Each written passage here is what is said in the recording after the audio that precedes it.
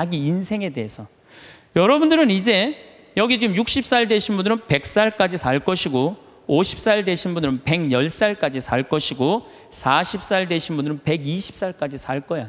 그럼 나는 이제 자식 다 키우고 60살서부터 120살까지 뭐 하고 살 거냐?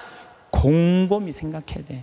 만약에 곰곰이 생각 안 하는 사람은 은총 가득하게 살 수가 없어요. 평창도 중요하지만 여주에 땅이 15만 평이 있으니 그걸 개발해봐라. 그래서 내가 지금 그거 개발 전담 신부예요. 그런데 평창은 1만 5천 평인데 여주는 15만 평에. 내가 이제 그거를 이제 꾸밀려고 그러면은 내가 또 한 20년은 또 그냥 흘러가게 생겨요. 너무너무 바쁘게. 나는 20년 동안 할 일이 있어요. 나는 늙어도 걱정 없어요. 할 일이 있으니까. 아, 그랬더니 주교님이 또 한 번은 부르시더니 용인에 대대리에 5만 평이 있으니 그것도 개발하라는 거예요. 나는 80살까지 할 일이 있는 거야, 나는. 어, 얼마나 좋아요. 할 일이 있으니까. 근데 저는 제가 하고 싶은 건 아프리카의 생태 마을 꾸미는 거예요. 그래서 내가 아프리카의 생태 마을 꾸밀라고 생각을 해보면은 100살까지 할 일이 있는 것 같아. 100살까지. 그리고 이제 대한민국을 나는 전체로 생태 마을을 꾸미고 싶은 게 꿈이에요. 그래서 우리나라에 한 40개 생태 마을을 꾸미고 싶어요. 그럼 난 120살까지 할 일이 있는 거야. 늙어서 할 일이 기다리고 있다. 이거 행복한 거예요. 여러분들 만약에 내가 60살에서부터 120살까지 아무것도 할 일이 없다. 그건 사는 게 저주예요. 오래 사는 게 저주예요. 여러분들 오늘 이후에 계획을 한번 짜보세요. 나는 60살에 뭘 할 거고, 70살에 뭘 할 거고, 80살에 뭘 할 거고, 90살에 뭘 할 거고, 100살에 뭐 할 거다. 아, 신부님 언제 살지도 모르는데 그 사람처럼 바보가 없어요. 죽을 때 죽더라도 계획은 가져야죠. 계획이 이씨 살다가 죽는 사람이랑 계획 없이 그냥 대책 없이 100살까지 사는 사람이랑은 삶의 질이 틀린 거예요. 그래서 여러분들 이제 행복하게 살려면은 그런 생각을 곰곰이 해라. 두 번째, 내가 행복하려면 뭐 해야 되냐면 운동해야 돼. 아프면 안 돼요. 100살까지 살면서요, 이제는 죽지도 못해요. 죽을 만하면 살려갖고 오고 죽을 만하면 살려갖고 와서 죽지도 못해요, 이제. 의술이 좋아갖고 죽지도 못해요. 그럼 귀양 앞으로 50년 살 거 어떻게 사는 게 좋을까요? 건강하게 사는 게 좋, 좋은 거죠. 그리고 여러분들 이제 한 70, 80 대 갖고 이제 똥을 좀 싸기 시작하면요. 여러분들 어디 위에 누워서 자느냐 비닐 위에 누워서 자요. 비닐, 이불을 맨날 빨 수 없잖아요. 그러니까 비닐을, 두꺼운 비닐을 깐다고요. 그럼 거기서 이제 똥 싸면 이제 그거 딱 꺼내고 거기 또 뉘우고 똥 싸면 또 뉘우고 그러는 거예요. 그렇게 살기 싫으면 어떻게 해야 돼요? 운동해야 돼. 수영장 다니. 무슨 돈으로? 집 잡혀서. 여러분들 참 우리나라 행복한 나라예요. 우리나라처럼 살기 좋은 나라가 없어요. 우리가 6.25 전쟁 끝났을 때 우리나라가 어느 정도로 살았느냐면 세계 가난하기로 세계 6위였어요. IT 아시죠? 지난해 지진이 일어났던 IT하고 똑같았어요. 근데 지금 50년이 지난 지금 IT는 어떻게 삽니까? 정말로 거적대기 속에서 살아요. 그런데 50년이 지난 우리나라는 지금 어떻습니까? 세계 경제 규모 13위, 소비 지수 7위, 이탈리아보다도 더 잘 써요. 그리고 올해 1조 달러 경제 규모 1조 달러. 우리 어렸을 때는요, 100억 달러 수출 맨날 그러고 자랐어요. 그거 배우고 자랐어요. 그런데 천억 달러도 아니고 1조 달러. 대단한 거예요. 정말로 대단한 거예요. 전 세계 이런 나라가 한 나라도 없는 거예요. 원조 받는 나라에서 원조 해주는 나라. 그래서 제가 이 대단한 사람들이 모여 살아갖고 우리나라 이름이 대한민국이라고 그런 거예요. 대한민국이라고. 여러분들 제가 얼마 전에 서안이라는 데서 다녀왔어요. 진시황 묘 있는데. 근데 그 진시황을 끌던 마차가요. 말이 네 마리야, 네 마리. 그 대단한 진시황을 끌고 가는 마차가 말이 네 마리예요. 여, 기 정조 임금이 아버지 이, 저 육릉에 갈 때 여기서 어, 말 몇 마리 끌고 왔는지 알아? 전체 행렬이 120마리도 채 안 됐어요. 근데 여러분들이 지금 2000cc를 2000cc 차를 타고 지금 여기 성당에 오셨다면 여러분은 말 몇 마리를 끌고 온 거냐면 150마리를 끌고 온 거예요. 말 150마리를 끌고 온 거예요. 우리가 얼마나 많은 걸 지금 누리고 살고 있는데 그걸 몰라요. 옛날에 왕은요, 여름에 얼음 좀 먹고 싶으면은 동빙고, 서빙고 막 뛰어가서 그냥 막 얼음 갖다 바쳤어요. 근데 우리는 집집마다 냉장고에서 열면 얼음 다 있어요. 동빙고, 서빙고 다 있어요. 옛날에 진시황보다 옛날에 정조임금보다 우리가 훨씬 더 잘 사는 거예요. 그런데도 지금 감사하지 못하고 있다. 이건 정신적인 병이 들어 있는 거예요. 짧은 시간 내에 남들은 100년 역사가 넘는데 우리는 겨우 30년, 40년 됐는데도요. 세계 4위 시장이에요. 4위 시장. 대단한 거예요. 텔레비전 잘 만들어요, 못 만들어요? 잘 만들어요. 2009년 기준으로 미국 LED 텔레비전 시장 90%가 한국 텔레비에. 유럽에서는 뭐 내가 2004년인가 5년 갔을 때 이미 우리나라 LG가 거기 1위. 참 잘 만들어요. 파나소닉이라는 일본 텔레비전 회사가요. 한 달 전에 손들었어요. 텔레비 사업을 포기했어요. 뭐라고 포기했느냐면 우리는 삼성, LG 텔레비 따라갈 수가 없다. 그래서 우리는 텔레비 사업을 포기한다. 차잘 만들죠. 텔레비전 잘 만들죠. 배 잘 만들죠. 휴대폰 잘 만들죠. 반도체 잘 만들지. 우리가 땅이 넓어요. 그렇다고 자원이 많아요. 정말 국민들 똑똑한 거 하나로, 성실한 거 하나로 이렇게까지 올라왔으면 행복해야죠. 근데 왜 OECD 30개 국가 중에 행복 등수가 25등이냔 말이에요. 욕심이 너무 많아서 그래요. 여러분들 지금 누리고 있는 것에 대해서 감사하지 못해서 그래요. 욕심 많은 사람은 기쁘게도 못 살고 감사도 못 해요. 여러분들 마음 안에 지금 욕심을 조금만 버리면요. 정말로 행복하게 살 수 있어요. 여러분들 우리나라 국부의 원천은 어디에 있다고 생각하세요? 국부의 원천은 살림에 있어요. 살림에. 전 세계에서 잘 사는 나라의 첫 번째 조건은 살림입니다. 독일이 그렇고 일본이 그렇고 미국이 그래요. 우리나라가요. 산림 녹화가 유엔에서 뭐라고 그랬냐면은 개발도상 국가 중에 산림 녹화를 성공한 나라는 대한민국 하나라고 그래요. 우리 지금 여기 할머니들 어렸을 때 산 빨겠어요, 안 빨겠어요? 빨겠죠? 근데 지금 우리나라 산 어디를 다나나 파래 안 파래요? 정말로 파래요.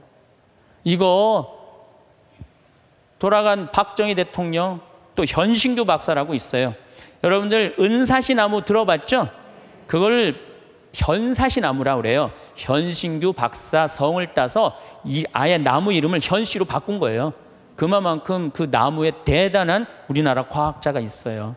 그 다음에 뭐 옛날에 이 산림청이 원래는 농림부에 있어야 되는데 우리나라는 산림청을 내무부에 넣어버렸어요. 왜 내무부에 넣느냐면 그 갈비 긁어가면은 그 사법권 행사하려고 세계적으로 그런 예가 하나도 없다는 거예요. 그만큼 산림 녹화의 의지가 강했던 거예요. 지금 60대, 70대 되신 우리 할머니, 할아버지들이 사방공사 다 하고 맨날 가서 식목일에 나무 심고 이래서 이 나라가 이렇게 잘 살게 된 거예요. 우리나라가 언제부터 산림 녹화가 끝나냐면 1980년에 산림 녹화가 끝나. 그때부터 경제 성장 시작한 거예요. 제대로 된 성장. 그 이렇게 산이 풍요로운 나라가 없어요. 그런데 국민들이 안 행복해. 그 기가 막힌 산을 보고도. 그러니까 우리가 가지고 있는 가치에 대해서 우리 스스로 모르는 거예요. 그 다음에 여러분들 한류 많이 들어봤죠? 깜짝 놀랄 일이에요. 내가 일본에 가서 드라마를 보면요. 정말로 재미없어요. 정말로 재미없어. 근데 우리나라 드라마 보면요. 정말 재밌어요. 어쩜 그렇게 잘 만들어, 드라마를. 그 뭐 저기 대장금을 내가 케냐 라이로베에 갔는데 거기서 나오더라고요.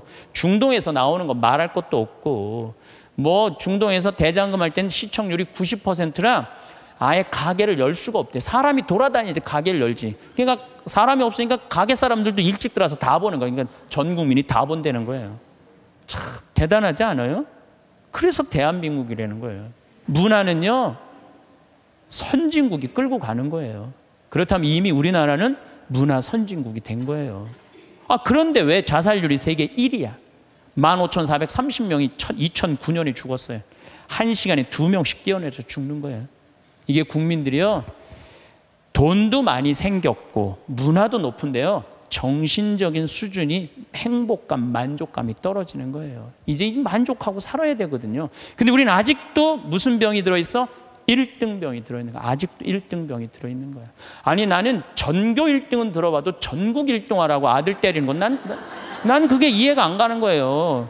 아, 전교 1등이라는 것도 꿈도 못 꾸는데 전국 1등을 안 한다고 아들을 야구 방망이로 때리고 골프채로 때리고 이게 우리의 불행이에요. 여러분들 1등 한다고 행복해요? 출세한다고 행복해요? 여러분들 요즘 텔레비전 보면요.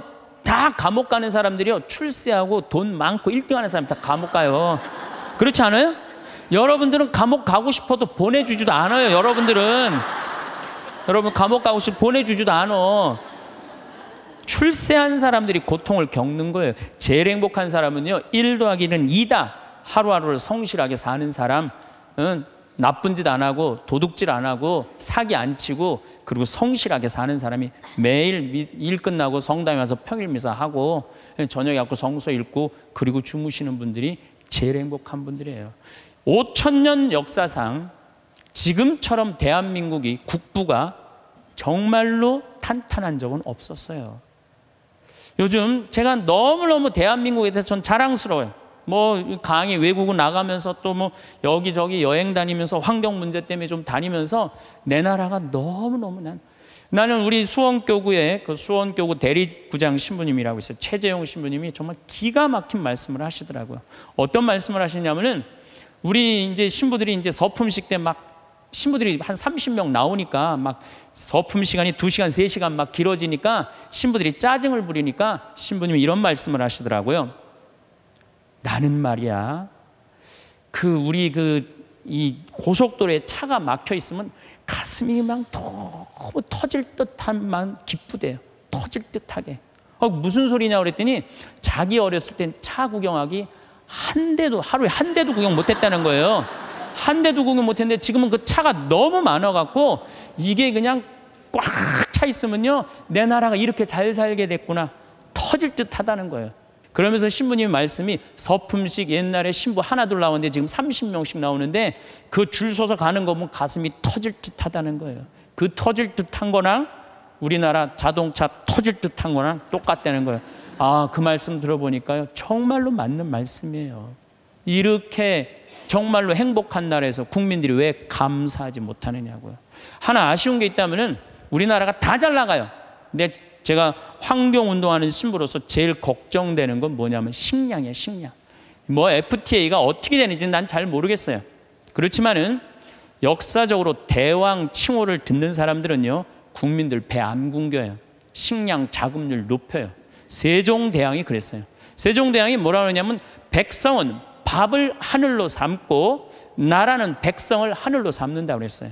먹는 게 굉장히 중요합니다. 먹는 걸 무시하는 임금은요, 성군이 될 수가 없어요. 그래갖고 이 세종대왕이 뭘 했느냐면은 추국이. 이거 다 농사 때문에 한 거예요. 해시계. 이것도 다 농사 때문에 한 거예요. 27%의 백성이 굶어 죽었어요. 세종대왕 때. 근데 세종대왕 때 그거를 해결을 한 거예요. 정조 임금은 서, 수원 서호에다가 인공 호수를 만들었어요. 그래갖고 제발 우리 백성들 안 굶긴다고 어떻게 안 굶긴다고 뭐를 했느냐면은 그 연구소를 했어요. 그래서 여러분들 농촌진흥청이 왜 지금 수원 소호에 가 있는 줄 알아요? 그 세종대왕의 전통을 이어받는다고. 근데 지금 우리나라가 식량 자급률이 27%밖에 안 돼요. 그런데 이번에 FTA를 통해서 더 포기하겠다는 거예요. 이 우리가 이 쌓아놓은 거 하루 아침에 무너지는 건 식량이에요, 식량. 그래서 이 식량 문제만 우리 국민들이 정말 의식을 갖고 해결해 나갈 수 있다면 대한민국은 앞으로 세계 4위, 3위까지 올라갈 수 있어요. 그 다음 또 하나 잘해야 되는 거 국회의원들 제발 좀 싸우지 좀 않았으면 좋겠어요. 응? 이 예산안 처리를 한 번도 제때 처리한 적이 없어. 올해도 그냥 넘어가고 있어요. 국민들은 너무 잘하는데, 국민들은 너무 대단한데, 우리 국회는 세계 5대 최대 최악의 국회라고 선정이 됐으니 이게 참 안타까운 거죠. 내가 여의도 와서 강의해서 하는 소리에 저기다 대고 지금. 예. 어, 그래서 우리는 정말로 이제 감사하면서 살아야 된다. 예, 감사하는 사람은요, 행복할 수 있어요. 그렇다면 우리가 이제 어떻게 하면 행복하게 살 수 있느냐? 그걸 말씀을 드리겠습니다. 우리가 성모님한테 은총이 가득하신 마리아요. 그러죠? 여러분, 은총이 가득한 게 뭐죠? 내가 성당을 한 10년을 졌는데 성당을 짓는다고 저녁에 삽자루를 쥐고 계속 삽자루를 삽질을 하고 있는데 기운이 안 나. 근데 형제 하나가 와갖고 딱 넥타이를 부르고 삽을 딱 잡으면요. 내가 기분이 너무 좋아요. 그 형제는 무슨 형제? 은총이 가득한 형제. 근데 우리는 성모님한테 은총이 가득한 마리아라고 그래. 성모님은 왜 은총이 가득하냐? 천사가 나타나갖고 마리아 아이를 가질 것이다. 성모님의 첫째 반응은 그 말뜻이 무슨 말뜻일까? 곰곰이 생각해요. 은총 가득할 사람, 할 수 있는 사람은 첫 번째 조건은 곰곰이 생각하는 거. 내 인생이 어떻게 될까? 내가 처년대 아이를 가지면은 내가 이 아이랑 같이 돌에 맞아 죽지는 않을까? 요셉 응? 남편한테는 어떻게 해야 되나? 곰곰이 생각을 했어요. 자기 인생에 대해서. 여러분들은 이제 여기 지금 60살 되신 분들은 100살까지 살 것이고 50살 되신 분들은 110살까지 살 것이고 40살 되신 분들은 120살까지 살 거야. 그럼 나는 이제 자식 다 키우고 60살서부터 120살까지 뭐 하고 살 거냐? 곰곰이 생각해야 돼. 만약에 곰곰이 생각 안 하는 사람은 은총 가득하게 살 수가 없어요. 저는 신학생 때 이런 생각을 했어요. 우리가 지금 성당 건물 짓는 것만 중요한 게 아니다. 앞으로 주 5일째가 되면은 교우들은 바깥으로 나간다. 2만 달러가 넘으면 거의 선진국이 예를 들어보면 전부 주일미사 안 하고 다 놀러 나간다.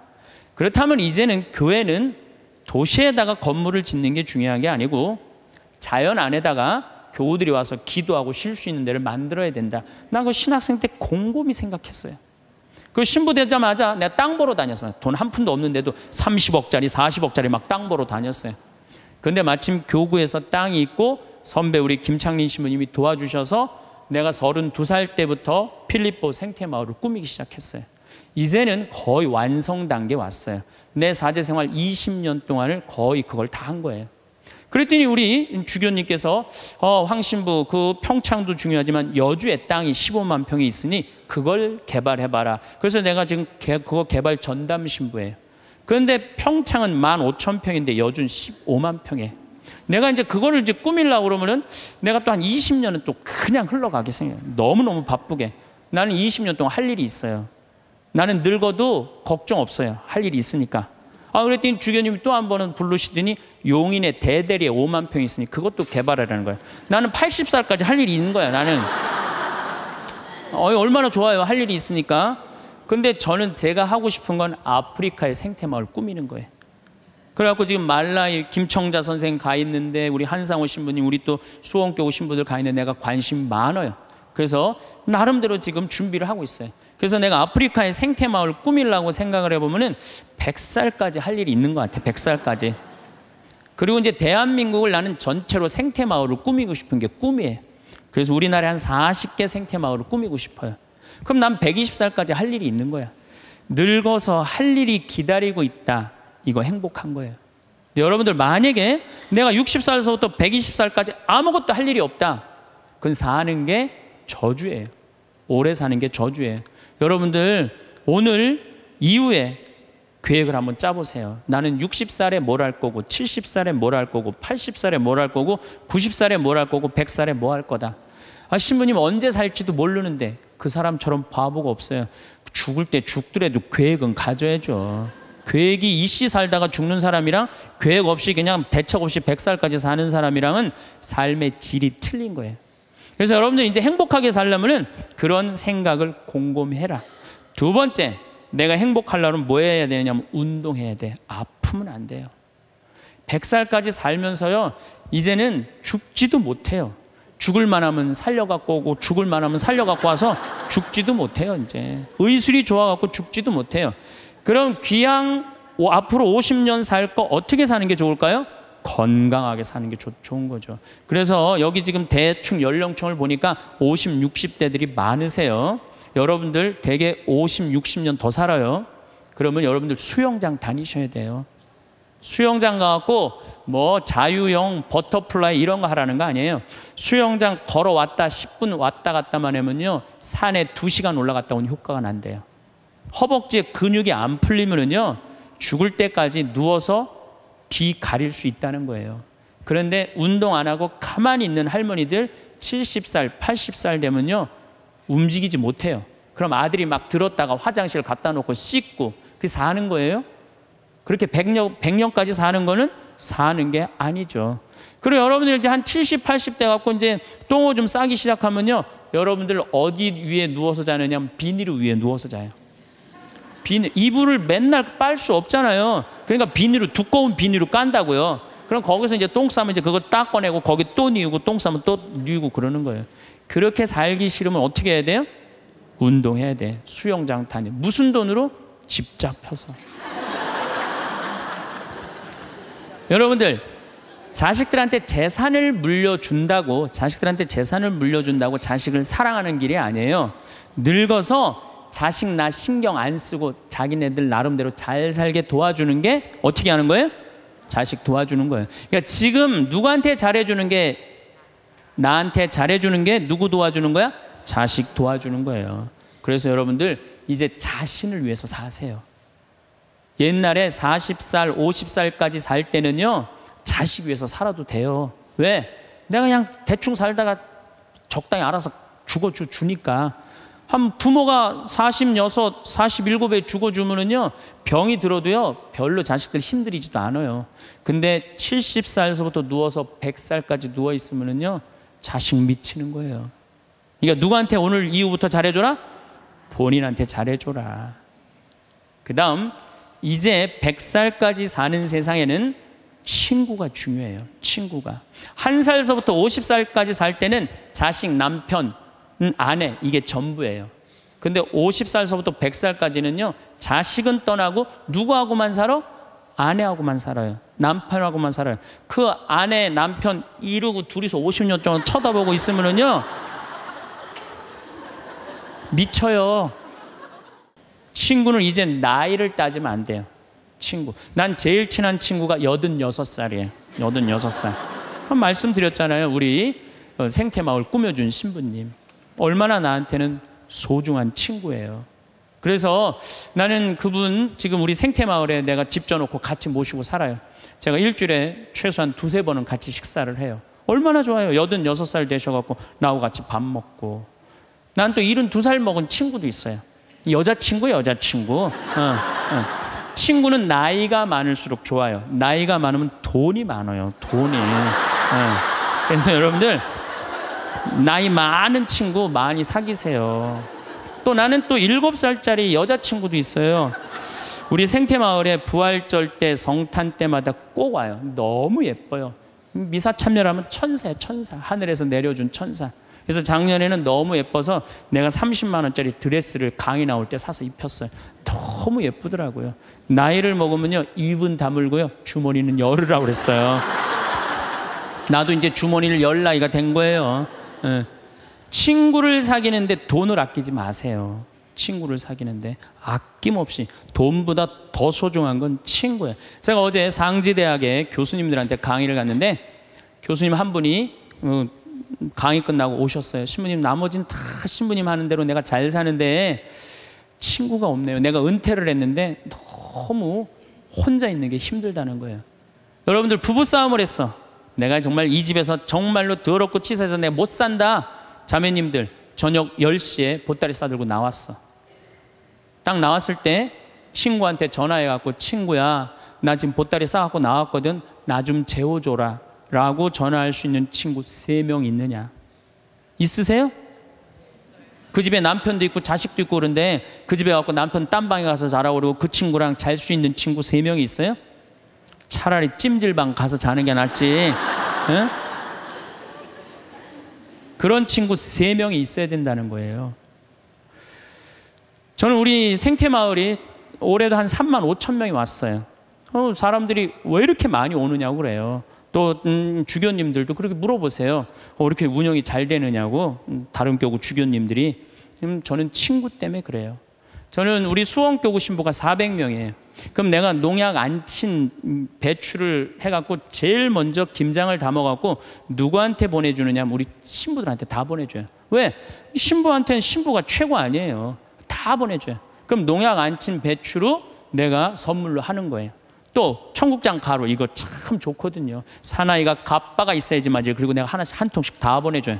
그러니까 5년 동안 우리 수원교 신부들은 나한테 매년 뭐 감자, 옥수수, 뭐 된장, 뭐 청국장, 김장 선물로 받는 거예요.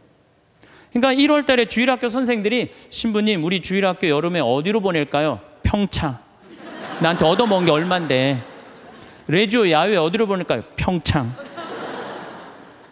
give and take예요. 나는 친구가 시, 목사님 친구들도 많고 스님 친구들도 많아요. 그래서 그냥 목사님들이 놀러 오라고 스님들이 저 지리산 스님 꼭 놀러 오라고. 근데 시간이 너무 없는 거야. 나 그 친구들 다 만나러 다니려면 200살 살아도 모자라 지금. 친구가 많은 거는요. 너무너무 할 일이 많은 거예요. 친구들하고는 어울려 지내는 게 얼마나 즐거워요. 그렇죠? 여러분들 지금부터라도 친구를 사귀세요. 친구는 세 가지를 따지면 안 돼요. 나이, 지위, 재산. 이거 다 무시하고 그 세 가지를 무시하고 사람 대 사람으로. 그래서 여러분들 멘토가 필요한 거, 멘토가. 나의 삶에 정신적으로 나를 이끌어 줄 수 있는 멘토가 꼭 필요한 거예요. 난 아무도 없다. 그런 사람들이 자살하고 그런 사람들이 험악한 일을 딱 당하는 거죠. 그래서 우리가 이제 100년 사는 인생에는 자식만 전부가 아니고 남편, 아내가 전부가 아니고 누가 중요하다? 친구가 아주 중요하다. 자, 또 이제 행복하게 살려면 텔레비 시청을 제발 좀 줄여라. 이 텔레비전이 문제 중에 문제예요. 제가 보기에는 우리 할머니들 가끔 나한테 이래요. 신부님 잠이 안 와요. 이런 할머니들 아침부터 저녁까지 텔레비전 본 거예요. 텔레비전을 보면 몸의 95%를 쓰지 않는데요. 텔레비전 볼 때 움직이지 않고 가만히 보는 거 아니야. 계속. 그러니까 저녁에 잠 잘라고 그러는데 뭘 움직였어요. 피곤해야지 잠이 올 거 아니야. 이게 잠이 안 오는 거예요. 아침에 일어나고 수영장 가고 성당에 노인대학 가고 산에 올라갔다 오고 어 그리고 뭐 탁구 치러 노인 저기 뭐야 거기 노인정에 가고 탁구 치고 하루 종일 뛰어다니면요 밤에 자지 말라 그래도 기절해서 자요. 아니 텔레비전 내용 뻔하지 않아요? 가난한 집 아들이 애인이 있는데 출세하고 싶어서 애인하고 배신하고 부잣집 딸한테 그냥 장갈 가버린 거야.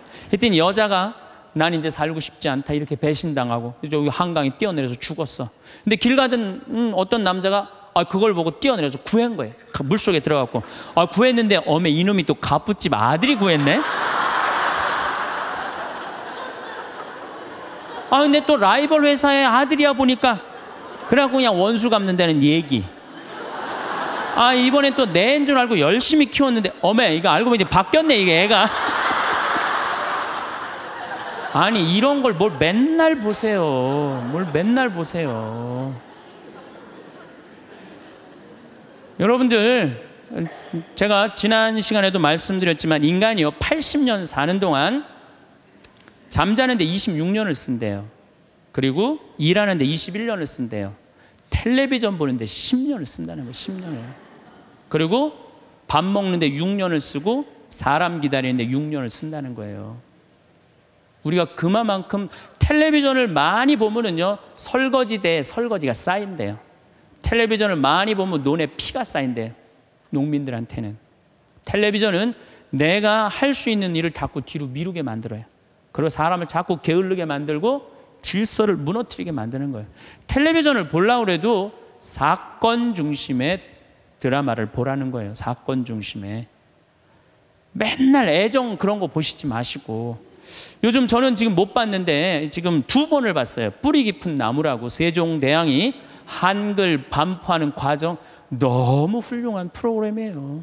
난 뭐 그 회사에서 돈 받은 것도 없지만은 너무 훌륭한 프로그램이에요. 두 번을 봤는데 글이 얼마나 중요한지 정말로 잘 표현했더라고요. 그런 걸 보시라는 거예요. National Geographic, History Channel, 평화 방송 뭐 이런 거 보라는 거예요. 제 얘기는. 괜히 그냥 응? 남편이 그냥 물에 빠져 죽였는데 그냥 또 살아나갖고 점 찍고 나타나갖고 그냥 뭐 이런 거 보시지 마시고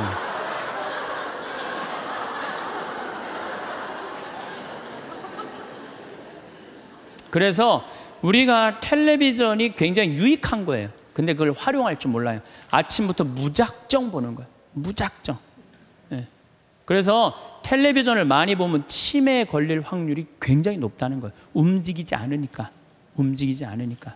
그래서 여러분들 텔레, 저한테 많은 분들이 신분이 그렇게 바쁜데 언제 책을 세 권이나 쓰시느냐고 텔레비전만 안 보면 돼요.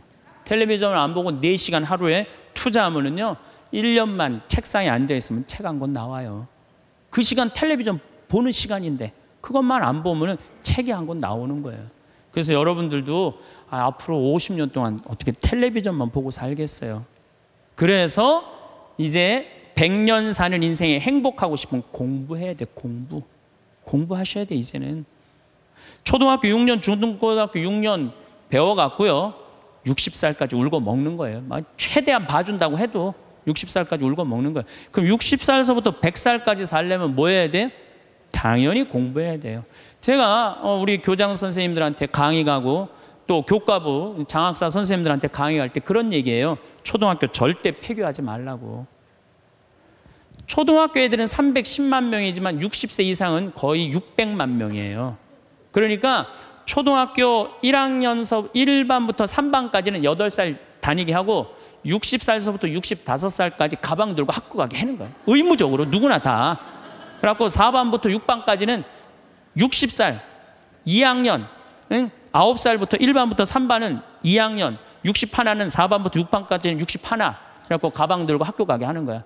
그리고 1반 애들, 저 3반 애들, 4반 애들, 저기 뭐야, 애들이라니, 1반 아이들, 4반 늙은 아이들, 학교 다니는 아이들, 자매 결혼 시켜주는 거예요. 학교 갈 때 데리고 가고, 수업 끝나면 집에 갖다 주고. 폭력이 어디 있어요, 폭력이. 그런 거 없어요. 그래서 제 지로는 60살부터 65살까지 학교 다니면서 재산 관리하는 방법, 자녀들과 좋은 인간관계 유지하는 방법, 건강 관리하는 방법, 그리고 여러 가지 배우는 거, 뭐 노노도 배워도 되고 얼마나 배울 게 많아요. 그 학교 졸업한 학생에 한해서 100살까지 살 자격증을 줘라. 산다고 사는 게 아니다. 그러니까 여러분들 이제 100년을 행복하게 살려면 어떻게 하셔야 돼요? 공부하셔야 돼. 내 사는 맛, 사는 멋. 저런 거 꼭 사서 읽어보라는 거예요. 꼭 책을 많이 사서 읽어보라는 거예요. 자, 그러고 난 다음에 행복하려면 어떻게 해야 되느냐? 웃어라.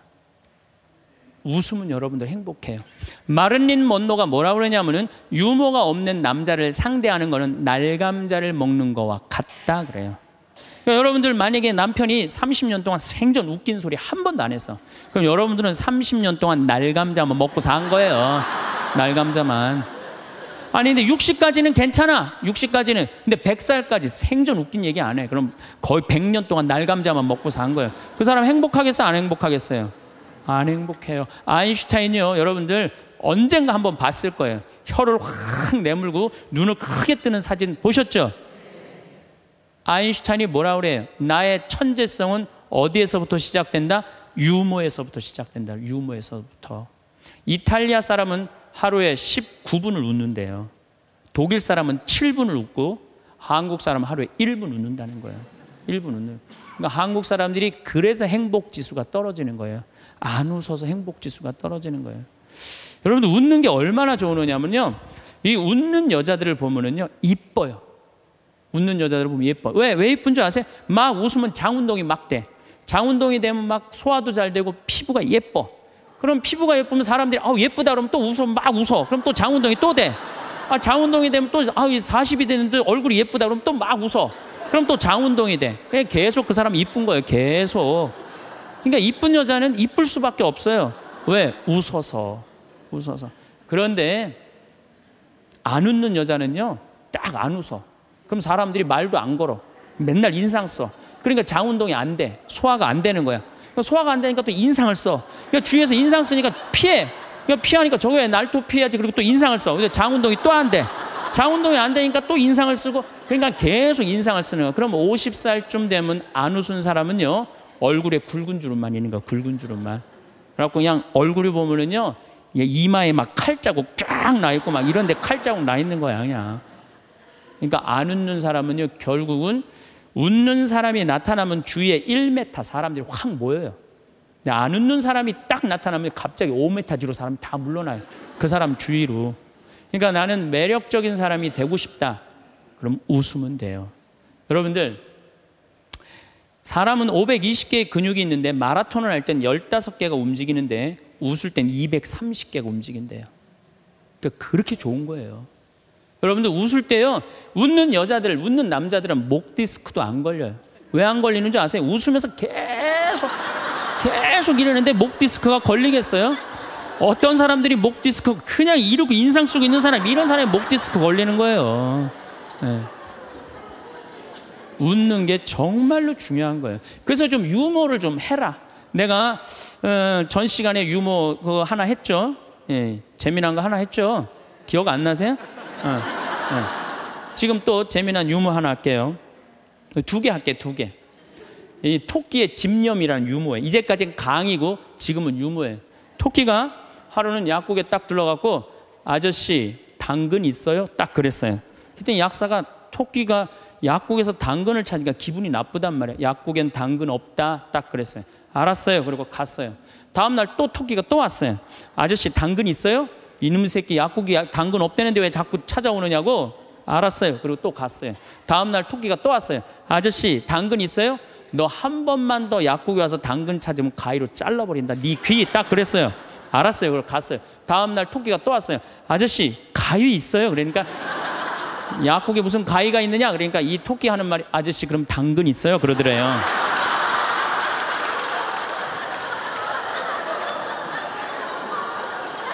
이게 토끼의 집념이라는 거, 집념. 음. 내가 유머를 한두 개는 좀 알아갖고 유머를 하는 건 상당히 여유로운 거예요. 또 하나 재미난 얘기 해드릴게요. 이 숫자 2.5가 3한테 정말로 깍듯이 인사하는 거예요. 형님, 안녕하셨습니까? 어, 3이 너무 기분 좋은 거예요. 겨우 0.5밖에 차이가 안 나는데도 깍듯이 인사를 하니까 아, 그냥 늘 그렇게 깍듯이 하는데 어느 날 갑자기 2.5가 딱 오더니 야, 3 일로 와봐. 딱 그러는 거예요. 깜짝 놀란 이놈이 미쳤나? 너 미쳤냐? 그러니까 왜? 나 지금 전 빼고 왔는데 너 왜 그러냐? 딱 그러더래요.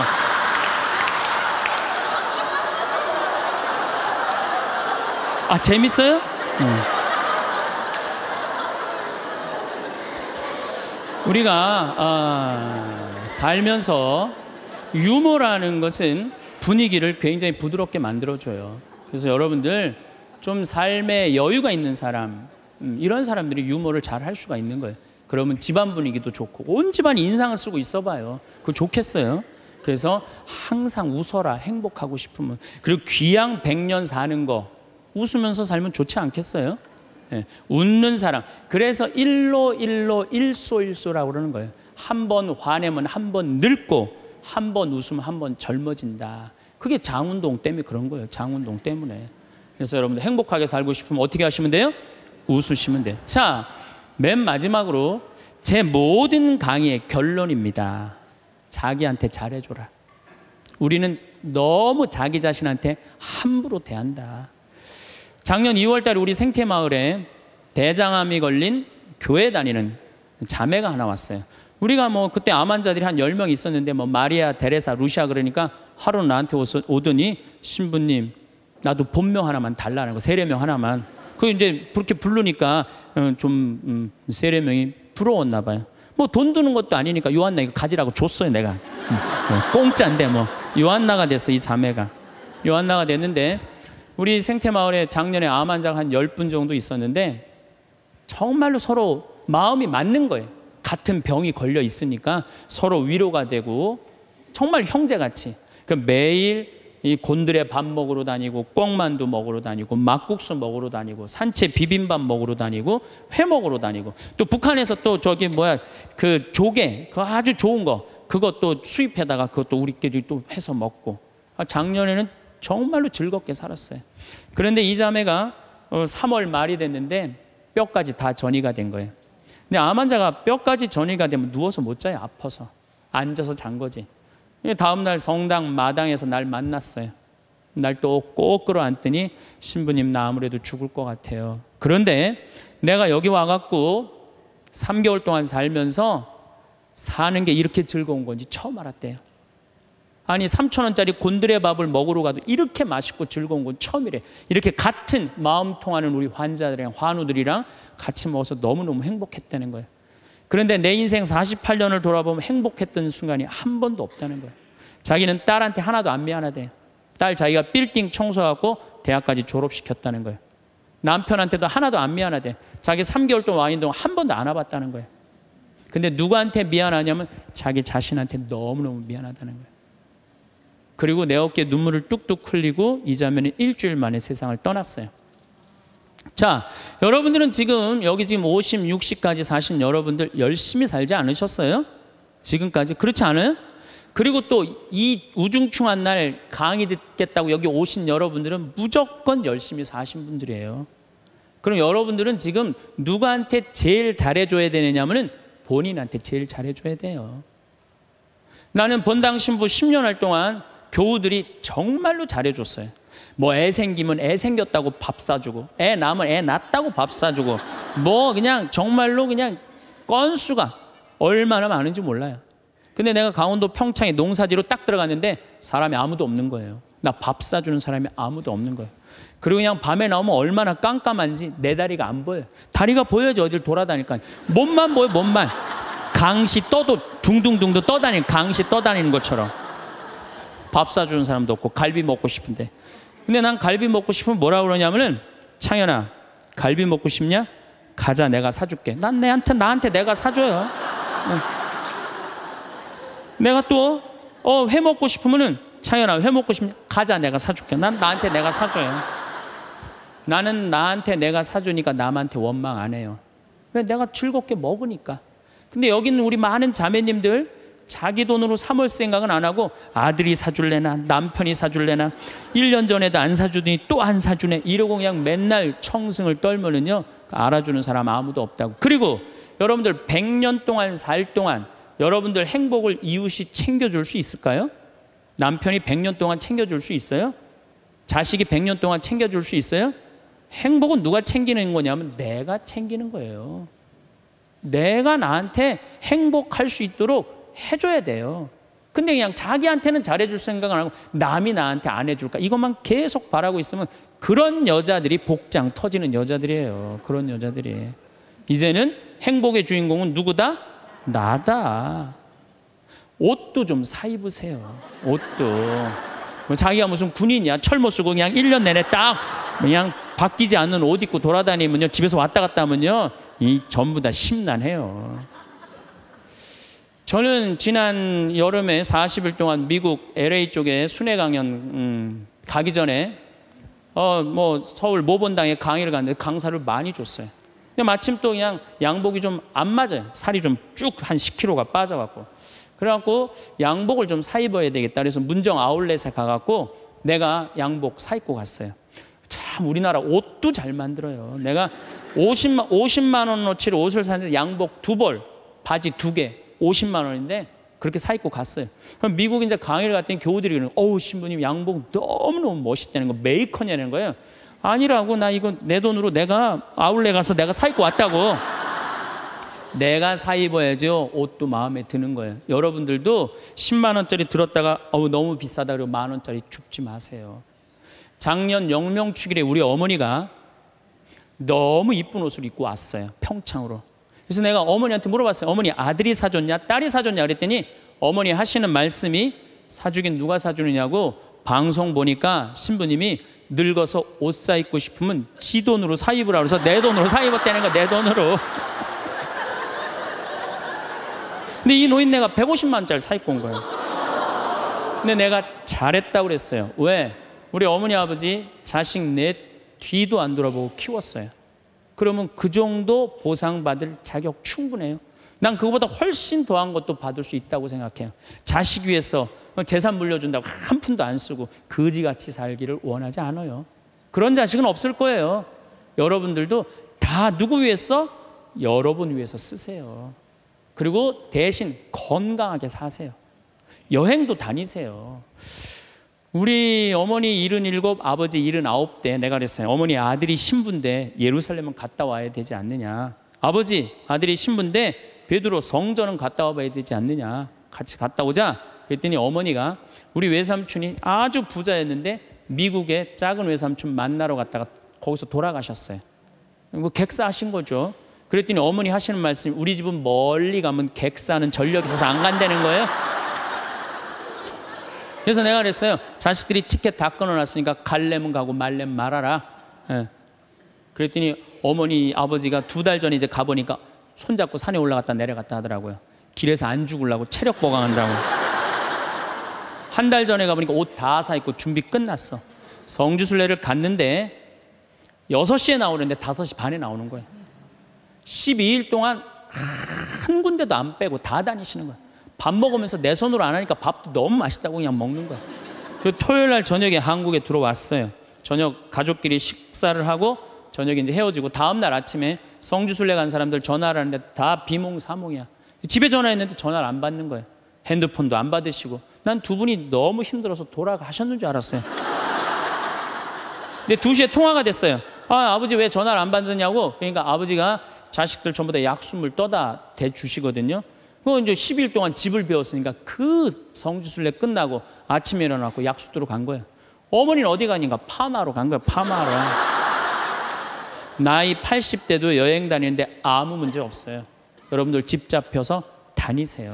네. 제가 어 뭐 저 언젠가 행복 강의 때도 말씀드렸지만 요한 바울 2세 교황님이 돌아가시면서 뭐라 그랬냐면은 나는 행복합니다. 여러분들도 행복하십시오. 그리고 돌아가셨어요. 이분이 1920년에 태어나셔갖고 2005년에 돌아가셨어요. 근데 이분이 안 행복할 게 뭐 있어요? 얼굴 잘생겼지, 키 크지, 노래 잘하지. 언어는 11개 언어를 자유자재로 했어요. 그리고 오상 받으신 비오 신부님이 뭐라 그랬냐면 저분은 교황될 분이라고. 신부 되자마자 주교되고 주교되자마자 추기경 되고 추기경 되자마자 교황 됐어요. 1981년에 교황이 돼서 2005 년까지 24년 동안 교황 자리에 있었어요. 근데 이분 그렇게 청승 떨면서 안 살았어요. 하고 싶은 대로 하고 살았어요. 얼마나 하고 싶은 대로 하고 살았냐면은 시성식을 2000년 동안 교황청에서만 했거든요. 근데 이분은 뭐라 그랬냐면 나는 나가서 한다. 누가 교황청에서 하라고 누가 정해놨느냐? 그래갖고 84년에 한국에 오셔서 시성식 하신 거예요. 파격적이시죠. 갈릴레오 갈릴레이 둥그렇다니까 그냥 옛날에 교황들이 평평한지 이놈은 뭐가 둥그러냐. 그러니까 교황님이 이번 교황님이 요한 바울 2세 교황님이 500년 만에 미안하다. 너 감옥에 가두고 탑에 가둬서 사과했어요. 동방교회 파문한 거 철회했어요. 그랬더니 동방교회 수익권 인정해 줬어요.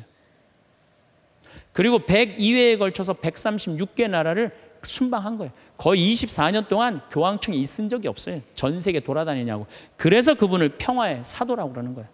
해고 싶은 대로 다 하고 돌아가시면서 나는 행복합니다. 여러분들도 행복하십시오. 그리고 돌아가셨단 말이에요. 여러분들도 이제 그만 그만 자식 위해서 희생하세요. 그집 잡혀갖고 먹고 싶은 거, 입고 싶은 거, 여행 다니고 싶은 거 다 다니세요. 다 다니고 한 90살 때 이제 죽을 때쯤 통장에 500만 원 딱 남겨놓고 자식들 불러요. 부르고 이렇게 말하세요. 나는 행복했다. 해고 싶은 대로 다 해서. 니네들도 행복해라. 그리고 돌아가셔야 돼요.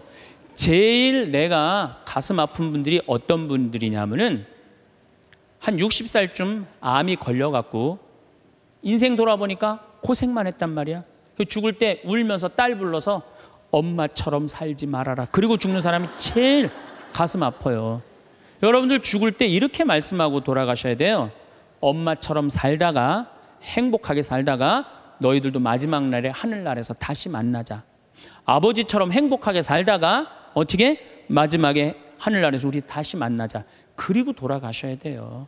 그래서 여러분이 남은 인... 자, 내가 내 마음 안에 슬픔, 괴로움, 고통, 불행이 꽉 차 있어. 그러면 내가 이웃한테 뭘 나눠줄 것 같아요? 슬픔, 짜증, 원망 이것만 나눠주게 돼 있어요.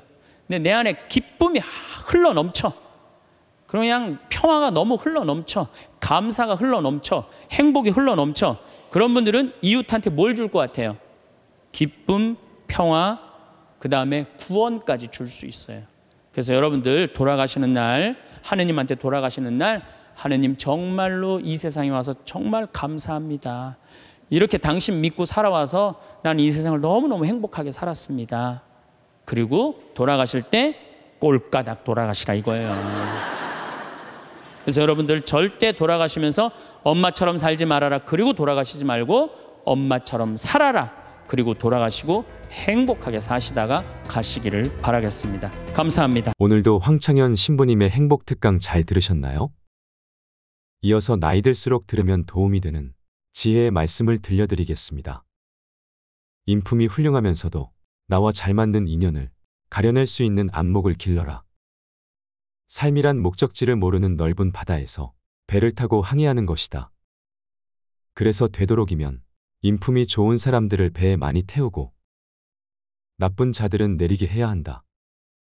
그러면 그 사람들이 나도 모르는 사이에 내 인생을 성공적으로 행복한 목적지로 인도해 줄 것이다.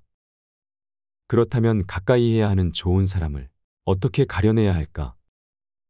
남 탓하지 않는 사람을 곁에 두어라. 지혜로운 사람은 모든 일의 결과를 자기에게서 구하고 자기의 책임으로 돌린다.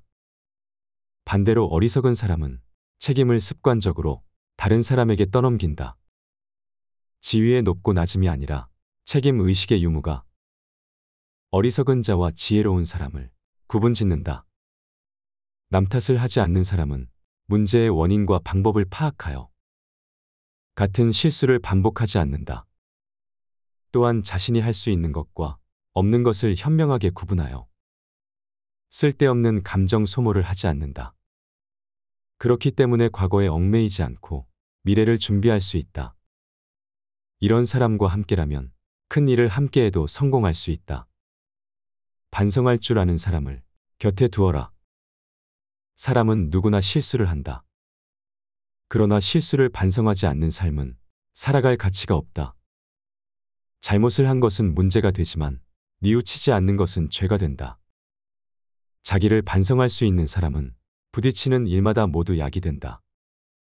그러나 남을 원망하는 사람은 생각과 행동이 모두 무기가 된다. 반성하지 않는 자는 자아도취에 빠져 있거나 자신에 대한 과대망상에 빠져 있는 자다. 이로 인해 그들은 스스로 자가당착에 빠지고 자기 방어에 혈안이 된다. 자신을 반성하는 사람은 어떤 상황에서도 자신의 분노로 인해 인격을 상실하지 않는다. 재물의 의지가 흔들리지 않으며 의심으로 이성이 마비되지도 않는다. 자신의 내면을 반성하는 연습이 잘 된 사람은 삶의 지혜가 깊어서 어떤 시련 앞에서도 옳고 그름의 풀이가 현명해진다. 자기 반성은 성장의 원천이자 원동력이다. 스스로의 상황과 행동을 객관화시켜 조망하고 자신의 행동에 대한 엄격한 기준에 따라 성숙하고 올바른 행동을 하게 한다. 그러니 반성하지 않는 사람은 멀리하라. 올바르게 배운 사람을 곁에 두어라. 환경이 노예가 되지 않고 환경을 지배하는 사람은 올바른 교육을 받은 사람이다. 타인의 의견이나 사회적 압박에 좌지우지되지 않고 자신의 신념과 원칙에 따라 행동한다. 용감하게 행동하고 탁월하게 생각하는 사람도 배운 사람이다. 두려움과 공포에 굴하지 않고 도전에 맞서 위험을 감수한다. 새로운 경험과 새로운 일에 열려 있으며 더 나은 결과를 이루기 위해 끊임없이 노력한다. 자기 마음에 들지 않더라도 언제든지 올바르게 처신하려고 노력하는 사람을 곁에 두어라. 자신이 선택한 길에 자신의 의지로 걸어가려고 하는 사람이고 말과 행동이 일치하도록 노력하는 사람이다. 성공을 얻기 위해 자신의 양심을 팔지 않는 사람은 힘든 상황 속에서도 감정을 잘 통제하고 극복하는 방법을 찾는다. 쾌락과 편안함을 얻는 것보다 자신의 목표와 가치를 달성하기 위해 불편하고 힘든 길을 선택하면서도 묵묵히 나아간다. 내 말을 잘 들어주는 사람을 가까이 하라. 자연은 인간에게 한 개의 혀와 두 개의 귀를 주었다. 그러므로 말하는 것보다 두 배로 들을 줄 아는 자가 현명한 사람이다. 현자의 입은 마음속에 있고 어리석은 자의 마음은 입안에 있다. 남의 말을 잘 듣지 않는 자는 가식적인 맞장구를 치며 듣는 채 하기에 바쁘다. 돈은 자신이 듣고 싶은 말만 선택적으로 듣는다. 이런 사람들과는 진정한 인간관계를 쌓아가거나 우정을 나눌 수 없다. 경청할 줄 아는 사람은 말을 듣는 것만큼이나 말하는 사람과 동일한 심정으로 대화에 임한다. 말 속에 숨어 있는 의미를 이해하기 위해서 노력하기 때문에 상대방의 마음에서 일어나는 감정을 재빨리 알아차린다. 남의 말을 경청하는 사람은 어디서나 사랑받는 사람이다. 긴 귀와 짧은 혀를 가진 현명한 사람을 곁에 두어라. 지혜가 부유한 사람을 가까이 해라. 지혜는 부자들을 아름답게 하고 가난을 부드럽게 한다. 사람은 재물이 부족해서가 아니라 지혜가 부족해서 망한다. 지혜로운 자는 사명으로 살지만 어리석은 자는 욕심으로 산다. 그래서 이기적인 욕심을 내다가 죄를 짓고 불행해진다. 지혜로운 자는 인생의 끝을 생각하고 어리석은 자는 인생의 쾌락을 생각한다. 지혜는 선천적으로 타고나는 것이 아니라 경험을 통해서 쌓이는 덕목이다. 지혜가 부유한 사람은 마음이 열려 있고 배우려는 자세를 가졌다. 자신의 경험을 분석하고 스스로의 지식을 시험에 들게 하여 자신을 성찰한다. 그래서 삶의 유한함을 기억하고 지나치게 낙관하거나 과신하지도 않는다. 슬기로운 자와 가까이 하면 자연스레 현명해지고 어리석은 자와 가까이 하면 기필코 해를 입는다. 술을 건전하게 즐기는 사람과 어울려라. 술은 누구나 가볍게 즐길 수 있는 즐거움 중 하나다. 그러나 그 작은 술잔에 빠져 죽은 자가 물에 빠져 죽은 자보다 훨씬 많다. 술자리에서 과도한 언행을 하거나 술을 너무 많이 마시거나 술을 마시면서 자신의 통제력을 잃는 사람은 멀리하라. 식물도 필요한 양만큼의 물만 공급받으면 꽃을 피우고 열매를 맺는다. 그러나 신께서 폭우를 퍼붓는다면 식물은 고개도 들지 못하고 꽃을 피우지 못할 것이다. 술이 입에 들어가면 비밀이 밖으로 빠져나온다. 그러니 술을 적절하게 즐길 수 있는 사람과 어울려라. 이는 우리가 우리의 행동과 통제력을 유지하기 위함이다. 또한 술을 즐길 때 다른 사람들과의 인간관계 역시 유지하기 위함이다. 술 앞에서 겸손할 수 있는 사람은 재산의 손실을 당할 이유가 없고 다툼을 두려워하지 않아도 된다. 또한 병에 걸릴 것을 걱정하거나 악평에 고통받지 않아도 된다. 만족할 줄 아는 사람과 만나라. 부자란 재물이 많은 사람이 아니라 만족할 줄 아는 사람이다. 가장 적은 것으로도 만족하는 사람이 가장 부유한 사람이다. 모든 고뇌에서 벗어나고자 한다면 먼저 만족하라. 그러면 맨 땅 위에 누워서도 편안하고 즐겁다. 그러나 만족할 줄 모르면 어디에 있든지 흡족하지 않을 것이다. 만족할 줄 모르는 자는 부유하더라도 가난하고 만족할 줄 아는 사람은 가난하더라도 부유하다. 만족하는 사람은 이익을 위해 스스로를 얽매이지 않는다. 삶을 가장 크게 방해하는 것은 남과 비교하는 것이다. 비교는 내 마음 속에 탐욕을 자라게 한다. 온전히 나의 삶에 전념할 때야말로 내가 가진 것의 소중함을 알게 되고 내가 가진 것에 대해 만족할 수 있다. 모르는 것을 모른다고 할 수 있는 사람을 가까이 해라. 자신이 현명하다고 떠드는 이들은 실제로는 참된 지식을 알지 못하는 자들이다.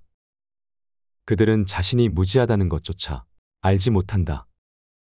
자기가 무엇을 모르는지를 모르면 무지에서 벗어나고자 노력할 가능성조차 없다.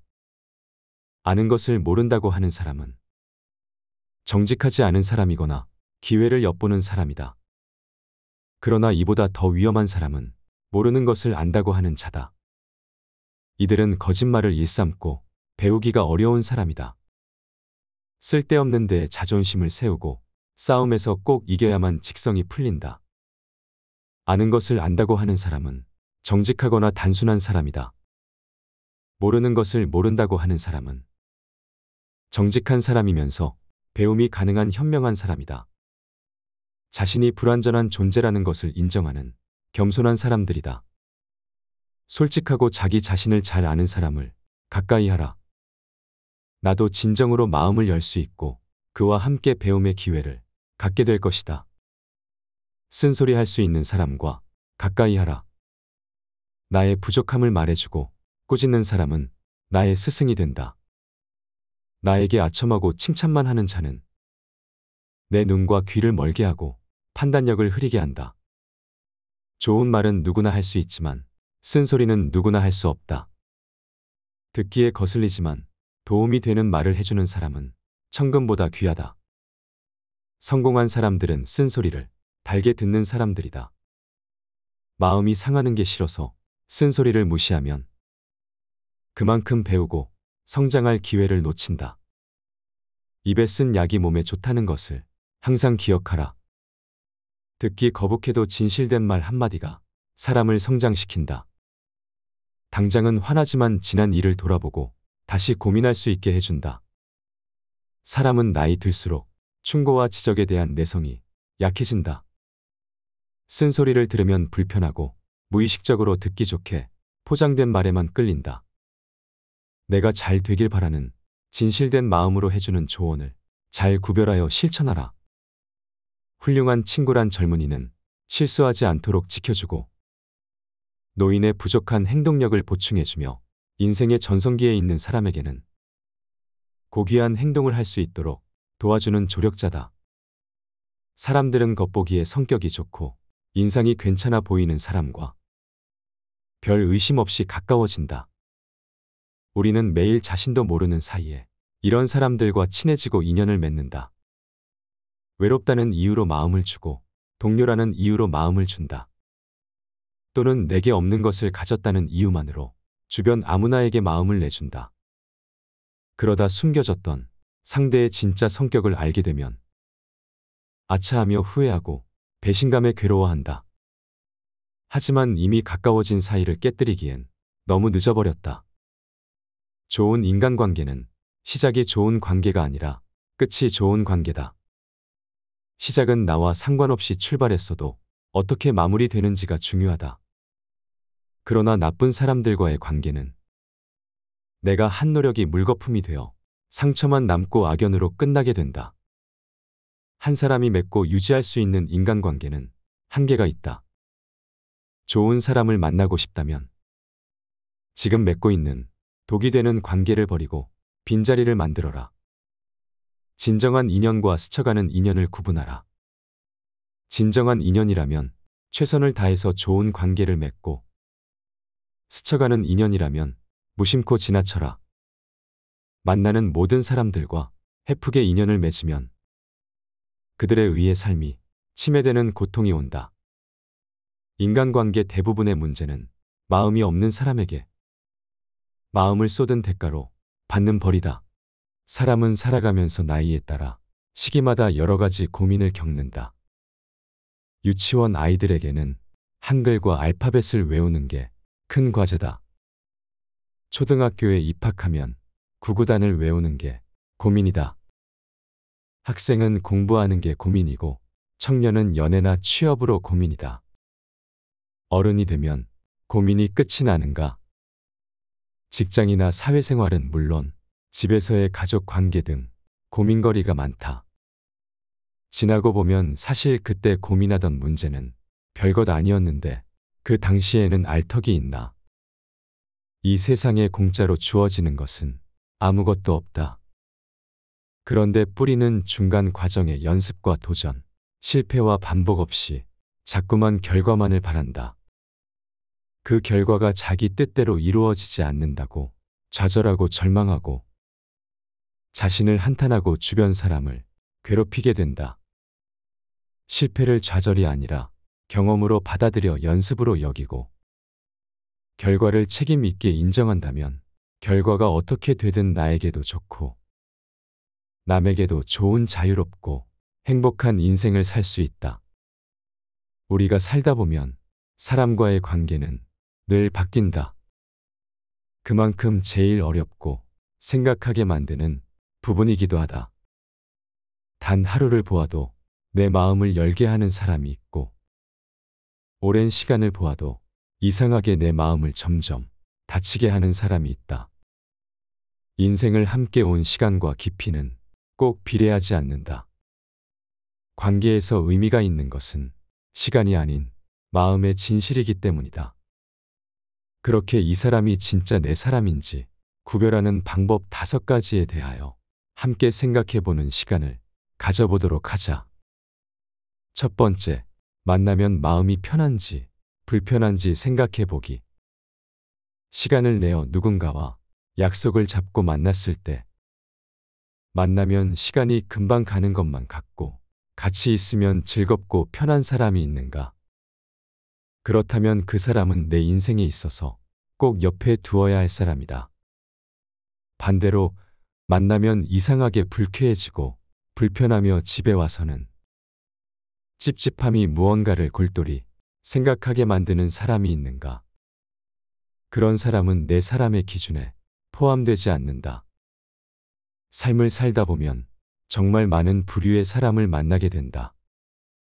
인생을 오래 살아왔고 많은 경험을 가진 사람들은 알 것이다.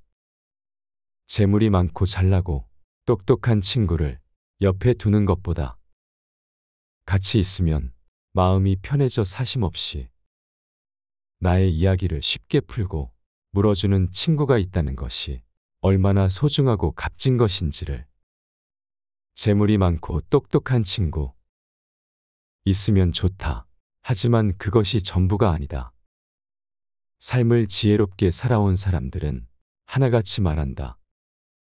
내 마음이 편한 게 인생의 최고의 덕목임을 내 사람이라고 생각되게 하는 사람은 그 사람을 생각할 때 마음이 따뜻해지며 저절로 미소가 지어진다. 만나면 더욱더 마음이 편안해져 마음의 위로를 받게 해주는 사람이다. 그런 사람의 특징은 함께 무언가를 이야기하지 않고 옆에 있어주는 것만으로도 어색하지 않고 편안하다. 멀리에 있어도 가깝게 있는 듯이 느껴지고 가까이 있어도 절대 부담되지 않는다. 만나면 한도 끝도 없는 이야기 속에 잔잔한 웃음과 함께 시간이 흘러가는지도 모를 만큼 즐거운 시간을 보내게 해주는 사람이다. 혹시 이런 사람이 주변에 있는가? 그렇다면 그 사람은 내 사람으로 두어도 되는 사람이다. 두 번째, 시간을 내서라도 나를 만나는지 생각해 보기. 내가 누군가를 만날 때 정말 만나고 싶고 같이 있으면 좋은 사람은 어떻게든 만나고 싶어 만남을 청한다. 시간이 없다면 다음의 시간을 만들어서라도 약속을 잡는다. 상대방도 마찬가지다. 나와 같이 있고 싶고 꼭 만나고 싶다면 그 사람이 정말 바쁜 사람이더라도 어떻게든 시간을 내서 나와의 약속을 만든다. 그만큼 나를 좋아해주는 사람이기에 내 사람이 될 수 있다.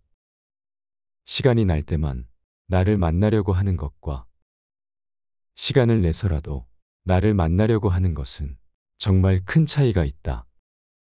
시간은 마음과 비례한다. 시간을 내는 것이 별거 아니라고 생각이 들 수도 있다. 하지만 절대 그렇지 않다. 서로에게 특별한 의미를 주는 것이다. 하루하루 바빠 자기 자신의 시간도 제대로 가지지 못하는 현대 사회에서 나에게 시간을 내서 만난다는 것은 그만큼 나라는 존재를 깊이 생각하고 있다는 것이다. 나를 찾아주는 사람이 있다는 것은 정말 소중하고 값진 일이다. 세 번째, 안 맞는 점도 인정하고 받아들이는지 생각해 보기. 사람은 누구나 완벽할 수는 없다. 누구나 장점이 있고 단점이 있기 마련이다. 사람은 모두 성격과 기질, 그리고 살아온 환경이 다르다. 그렇게 타인과 내가 다름을 인정하고 존중하는 것은 어려우면서도 평생 이해 못할 영역 중 하나이기도 하다. 하지만 완벽하게 모든 것을 이해할 수는 없어도 성숙한 어른이라면 이해하려고 노력이라도 해보려고 한다. 상대방과 내가 다르다는 것은 어쩔 수 없는 영역이다. 모든 것이 통할 수는 없기 때문이다. 그렇게 사람과의 인간관계에서 나와의 다름을 인정하고 받아들일 수 있는 사람은 참되고 성숙한 어른이 분명하다. 그리고 그만큼 공감 능력이 뛰어난 사람이다. 인정을 하면 상대방을 이해할 수 있음을 누구보다도 잘 알고 있기 때문이다. 인생에 정답이 없듯이 사람도 누가 맞고 누가 틀리고는 존재하지 않다.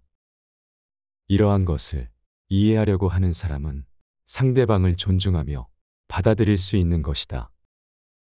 이런 사람은 그릇이 큰 사람이기에 내 사람으로 두어야 할 사람 중 한 명이다. 다른 것이지 틀린 것이 아님을 잘 알기 때문에 함께 있으면 다툼이 나는 일도 적고 인생을 살아갈 때 더불어 둥글게 살아갈 수 있는 사람이기에 함께 있으면 좋은 사람이다. 네 번째, 나를 존중해 주는지 생각해 보기. 서로가 서로를 존중할 때 서로를 함부로 대할 수 없다.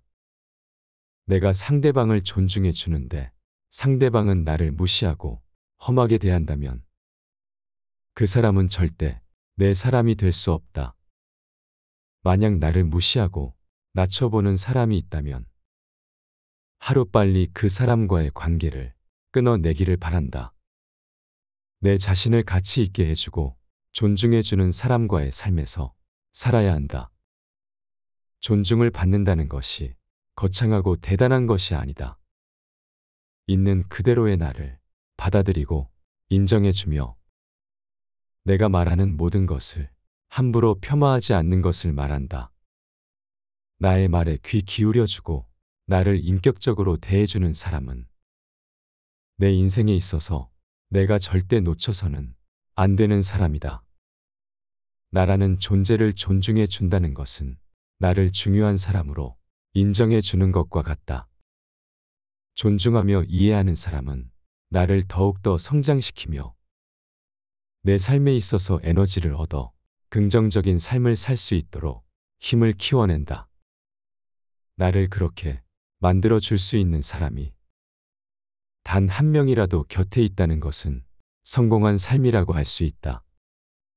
존중을 받는다는 것은 나의 자존감을 높여주는 대단한 힘이다. 존중을 받는다는 것은 내 인생에 있어 정말 큰 선물이다. 그러한 큰 힘과 선물을 주는 사람은 꼭 내 사람으로 두어야 한다. 다섯 번째, 내가 힘들 때 곁에 있어주는지 생각해 보기. 인생은 항상 평탄하지는 않다. 행복한 시기도 있지만 아닌 시기도 분명 존재한다. 내가 잘 되고 행복할 때 함께 기뻐해주고 곁에 있어주는 사람이 있다는 것은 너무나도 감사하고 좋은 일이지만 내가 정말 힘들 때 곁에 있어주는 사람은 내 인생에 있어서 무조건 옆에 고이고이 소중하게 두어야 할 사람이다. 너무나도 힘든 고통과 절망 속에서 허우적거리고 있을 때, 삶이 너무 힘들어 주체 없이 흔들릴 때, 정말 진심으로 필요한 것은 내 옆에 묵묵히 있어주는 따뜻한 온기이며 사람이다. 무언가를 대단하게 하지 않고 옆에 있는 것만으로도 힘이 되는 사람이 있다. 내가 슬플 때 조용히 눈물을 닦아주고 말을 들어주고 응원을 해주며 옆을 지켜주는 사람이 있다면 그 사람은 내 인생에 있어 함께 하기에 값진 사람이다. 이런 사람은 내 사람임을 깨닫고 소중하게 대해 주어야 한다. 어떤 사람이 진짜 내 사람이고 내 옆에 둬야 하는지 진국인 내 사람을 알아보는 것은 엄청난 능력이다. 내 인생을 찬란하고 값지게 만들어 주기 때문이다. 한 번쯤 이런 생각을 해봤으면 한다. 당장 내일 무슨 일이 일어날지 모르는 이 인생사에서 무슨 일이 일어나도 아무 문제가 없는 삶을 살아가는 것. 이것이 고마움이고 행복이다. 비가 오면 비가 오는 대로 좋고, 맑으면 맑은 대로 좋고, 추우면 추운 대로 좋고, 또 더우면 더운 대로 좋다. 그렇게 마음이 자유로운 삶이 행복으로 가는 길이며 마음의 봄이다. 늘 행복한 당신에게는 자연스레 주변에 좋은 사람들이 분명히 함께 할 것이다. 주위의 소중한 분들에게도 공유해 주시면 좋을 것 같습니다. 한 번 더 들으시면 가슴에 더욱 새겨질 것입니다. 반복 재생합니다. 여러분들 참 우리나라 행복한 나라예요. 우리나라처럼 살기 좋은 나라가 없어요. 우리가 6.25 전쟁 끝났을 때 우리나라가 어느 정도로 살았느냐면 세계 가난하기로 세계 6위였어요. IT 아시죠? 지난해 지진이 일어났던 IT하고 똑같았어요. 근데 지금 50년이 지난 지금 IT는 어떻게 삽니까? 정말로 거적대기 속에서 살아요. 그런데 50년이 지난 우리나라는 지금 어떻습니까? 세계 경제 규모 13위, 소비 지수 7위, 이탈리아보다도 더 잘 써요. 그리고 올해 1조 달러 경제 규모 1조 달러. 우리 어렸을 때는요. 100억 달러 수출 맨날 그러고 자랐어요. 그거 배우고 자랐어요. 그런데 천억 달러도 아니고 1조 달러. 대단한 거예요. 정말로 대단한 거예요. 전 세계 이런 나라가 한 나라도 없는 거예요. 원조 받는 나라에서 원조 해주는 나라. 그래서 제가 이 대단한 사람들이 모여 살아갖고 우리나라 이름이 대한민국이라고 그런 거예요. 대한민국이라고. 여러분들 제가 얼마 전에 서안이라는 데서 다녀왔어요. 진시황 묘 있는데. 근데 그 진시황을 끌던 마차가요. 말이 네 마리야, 네 마리. 그 대단한 진시황을 끌고 가는 마차가 말이 네 마리예요. 여, 여기 정조 임금이 아버지 이, 저 육릉에 갈 때 여기서 어, 말 몇 마리 끌고 왔는지 알아? 전체 행렬이 120마리 도 채 안 됐어요.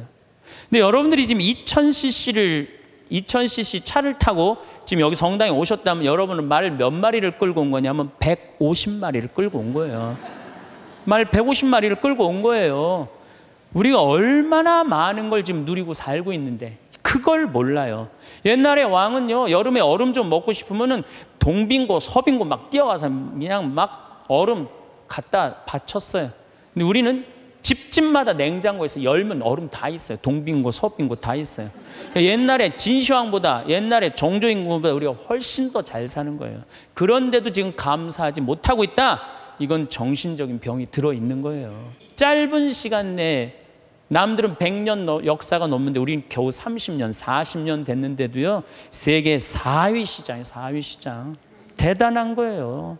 텔레비전 잘 만들어요? 못 만들어요? 잘 만들어요. 2009년 기준으로 미국 LED 텔레비전 시장 90%가 한국 텔레비에.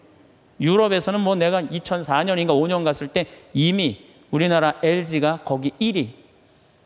참 잘 만들어요. 파나소닉이라는 일본 텔레비전 회사가요. 한 달 전에 손들었어요.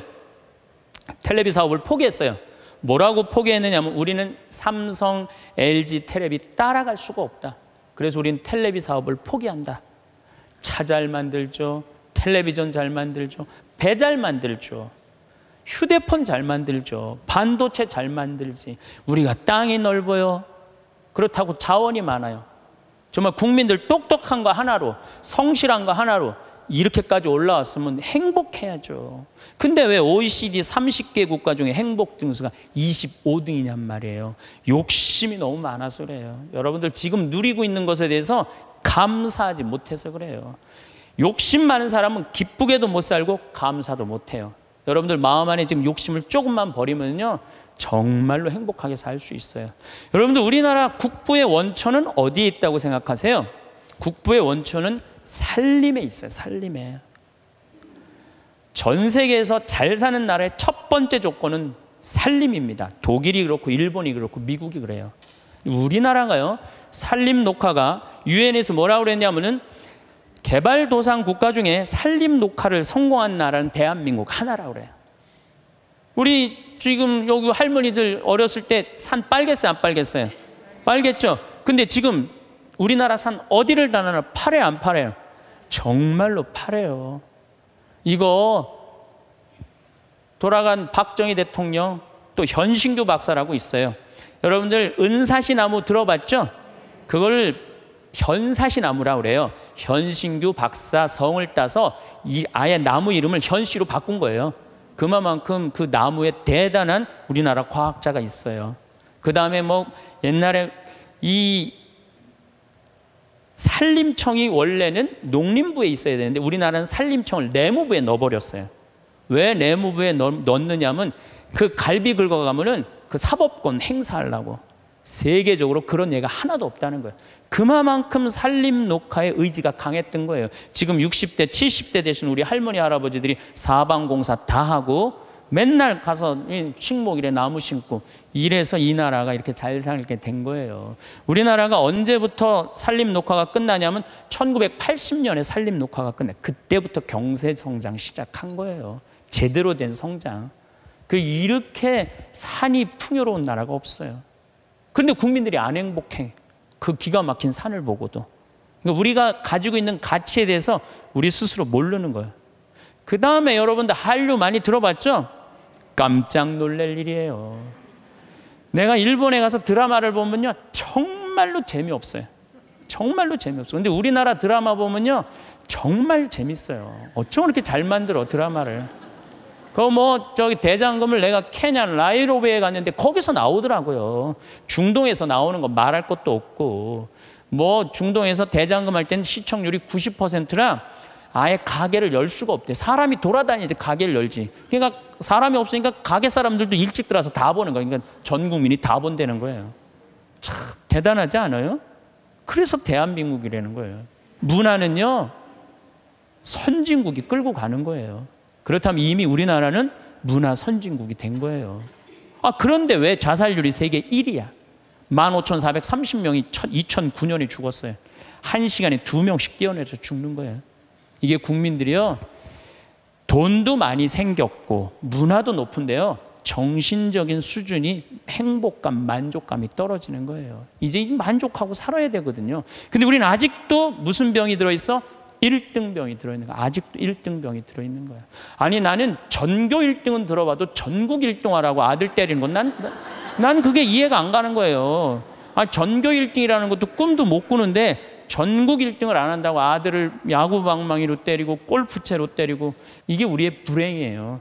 여러분들 1등 한다고 행복해요? 출세한다고 행복해요? 여러분들 요즘 텔레비전 보면요.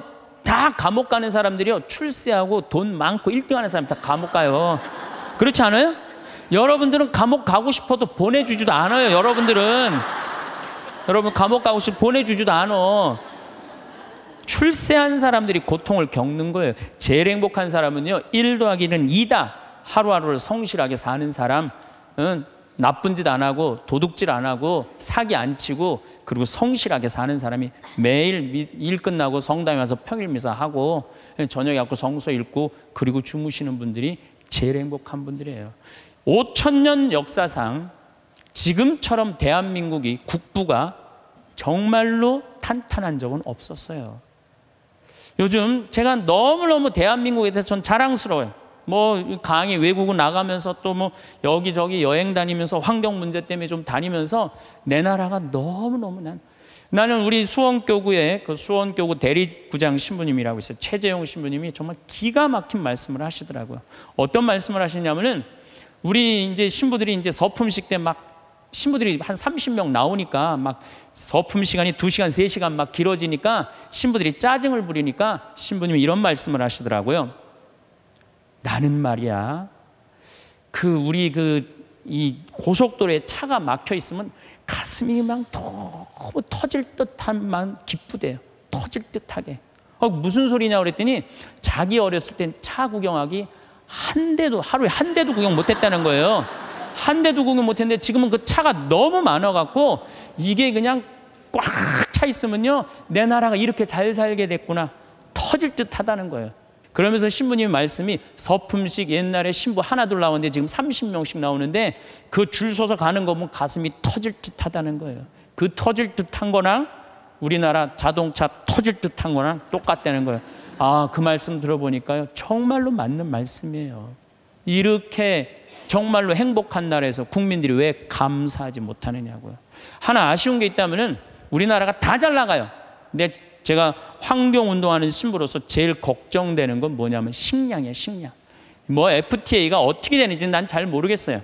그렇지만은 역사적으로 대왕 칭호를 듣는 사람들은요, 국민들 배 안 굶겨요. 식량 자급률 높여요. 세종대왕이 그랬어요. 세종대왕이 뭐라 그러냐면 백성은 밥을 하늘로 삼고 나라는 백성을 하늘로 삼는다고 그랬어요. 먹는 게 굉장히 중요합니다. 먹는 걸 무시하는 임금은요, 성군이 될 수가 없어요. 그래갖고 이 세종대왕이 뭘 했느냐면은 추국이 이거 다 농사 때문에 한 거예요. 해시계 이것도 다 농사 때문에 한 거예요. 27%의 백성이 굶어 죽었어요.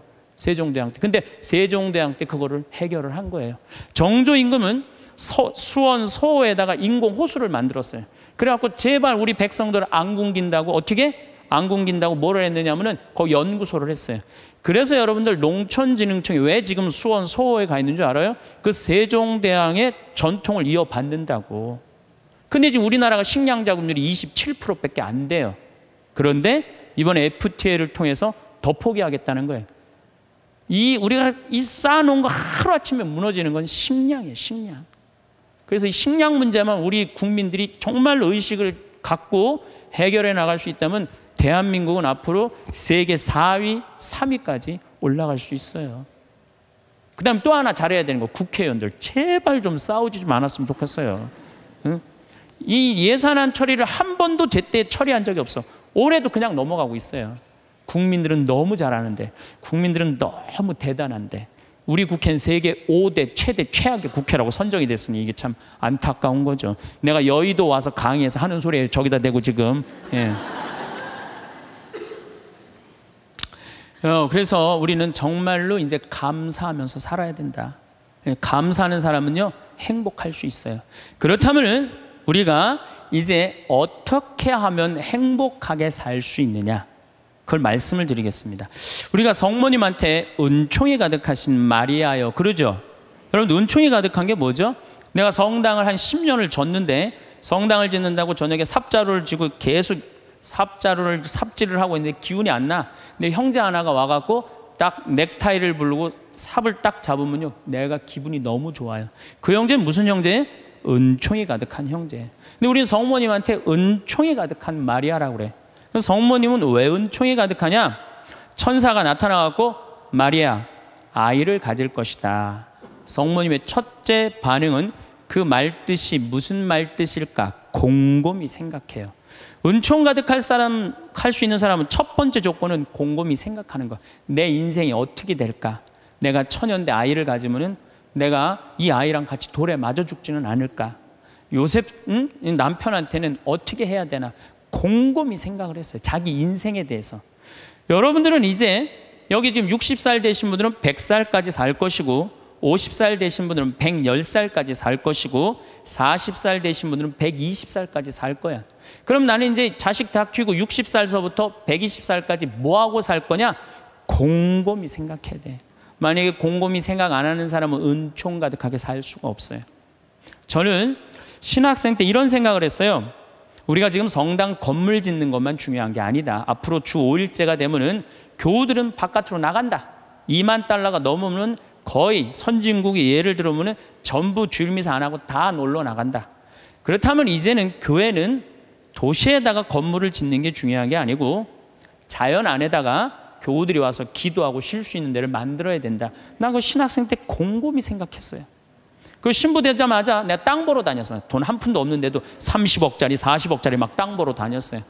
근데 마침 교구에서 땅이 있고 선배 우리 김창린 신부님이 도와주셔서 내가 32살 때부터 필리포 생태마을을 꾸미기 시작했어요. 이제는 거의 완성 단계 왔어요. 내 사제 생활 20년 동안을 거의 그걸 다 한 거예요. 그랬더니 우리 주교님께서 어, 황신부 그 평창도 중요하지만 여주의 땅이 15만 평이 있으니 그걸 개발해봐라. 그래서 내가 지금 개, 그거 개발 전담 신부예요. 그런데 평창은 1만 5천 평인데 여주는 15만 평에. 내가 이제 그거를 이제 꾸밀려고 그러면은 내가 또 한 20년은 또 그냥 흘러가게 생겨요. 너무너무 바쁘게. 나는 20년 동안 할 일이 있어요. 나는 늙어도 걱정 없어요. 할 일이 있으니까. 아, 그랬더니 주교님이 또 한 번은 부르시더니 용인에 대대리에 5만 평이 있으니 그것도 개발하라는 거예요. 나는 80살까지 할 일이 있는 거야, 나는. 어, 얼마나 좋아요. 할 일이 있으니까. 근데 저는 제가 하고 싶은 건 아프리카의 생태마을 꾸미는 거예요. 그래갖고 지금 말라이 김청자 선생 가 있는데 우리 한상호 신부님 우리 또 수원교 신부들 가 있는데 내가 관심 많아요. 그래서 나름대로 지금 준비를 하고 있어요. 그래서 내가 아프리카의 생태마을 꾸밀라고 생각을 해보면은 100살까지 할 일이 있는 것 같아. 100살까지. 그리고 이제 대한민국을 나는 전체로 생태마을을 꾸미고 싶은 게 꿈이에요. 그래서 우리나라에 한 40개 생태 마을을 꾸미고 싶어요. 그럼 난 120살까지 할 일이 있는 거야. 늙어서 할 일이 기다리고 있다. 이거 행복한 거예요. 여러분들 만약에 내가 60살에서부터 120살까지 아무것도 할 일이 없다. 그건 사는 게 저주예요. 오래 사는 게 저주예요. 여러분들 오늘 이후에 계획을 한번 짜보세요. 나는 60살에 뭘 할 거고, 70살에 뭘 할 거고, 80살에 뭘 할 거고, 90살에 뭘 할 거고, 100살에 뭐 할 거다. 아, 신부님 언제 살지도 모르는데 그 사람처럼 바보가 없어요. 죽을 때 죽더라도 계획은 가져야죠.